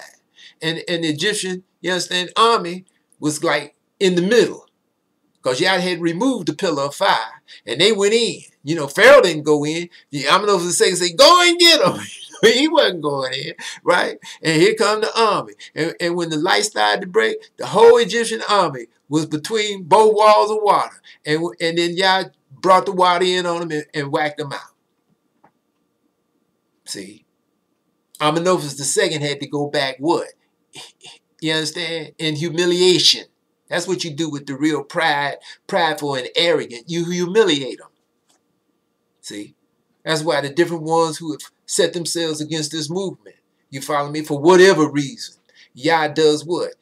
He humiliates them. He reveals them for who and what they are. See? And then, you know, again, you understand what I mean? They made a mistake. If they humble themselves and acknowledge with all their heart and soul, I mean, it took, you know, it, took uh, uh, Coniah 37 years in the prison before he was totally humble and, and, and, and you understand, set forth humility and humbled himself where Yah put the spirit in Evil-merodach to bring him out to prison. Took 37 years, but he was brought up. Okay? And you got some of these people, they, they've set themselves against this, this movement, and more so, in a sense, they've set themselves against me for whatever their reasons. You follow me? And, you know, they really set themselves against the Most High. You know, because as this brother said to me here uh other week, you know, he called me, and, and I know he in the room right now uh, uh when this plays, right? Eh, you know, and we were talking. He said, "You, I put up, you know, you know that Henry Ford International Jew on a site that he had set up on, on, on Facebook. He said, I put that up and put some other stuff up. He said, Yuta, they took it down and banned me for a week. I said, you know how they how they how they monitoring, you know, they don't want that, that kind of stuff to come out to the people. And so we was talking, and he said, Yeah, but Yehuda, they don't take your stuff down. I said, because it's not my stuff.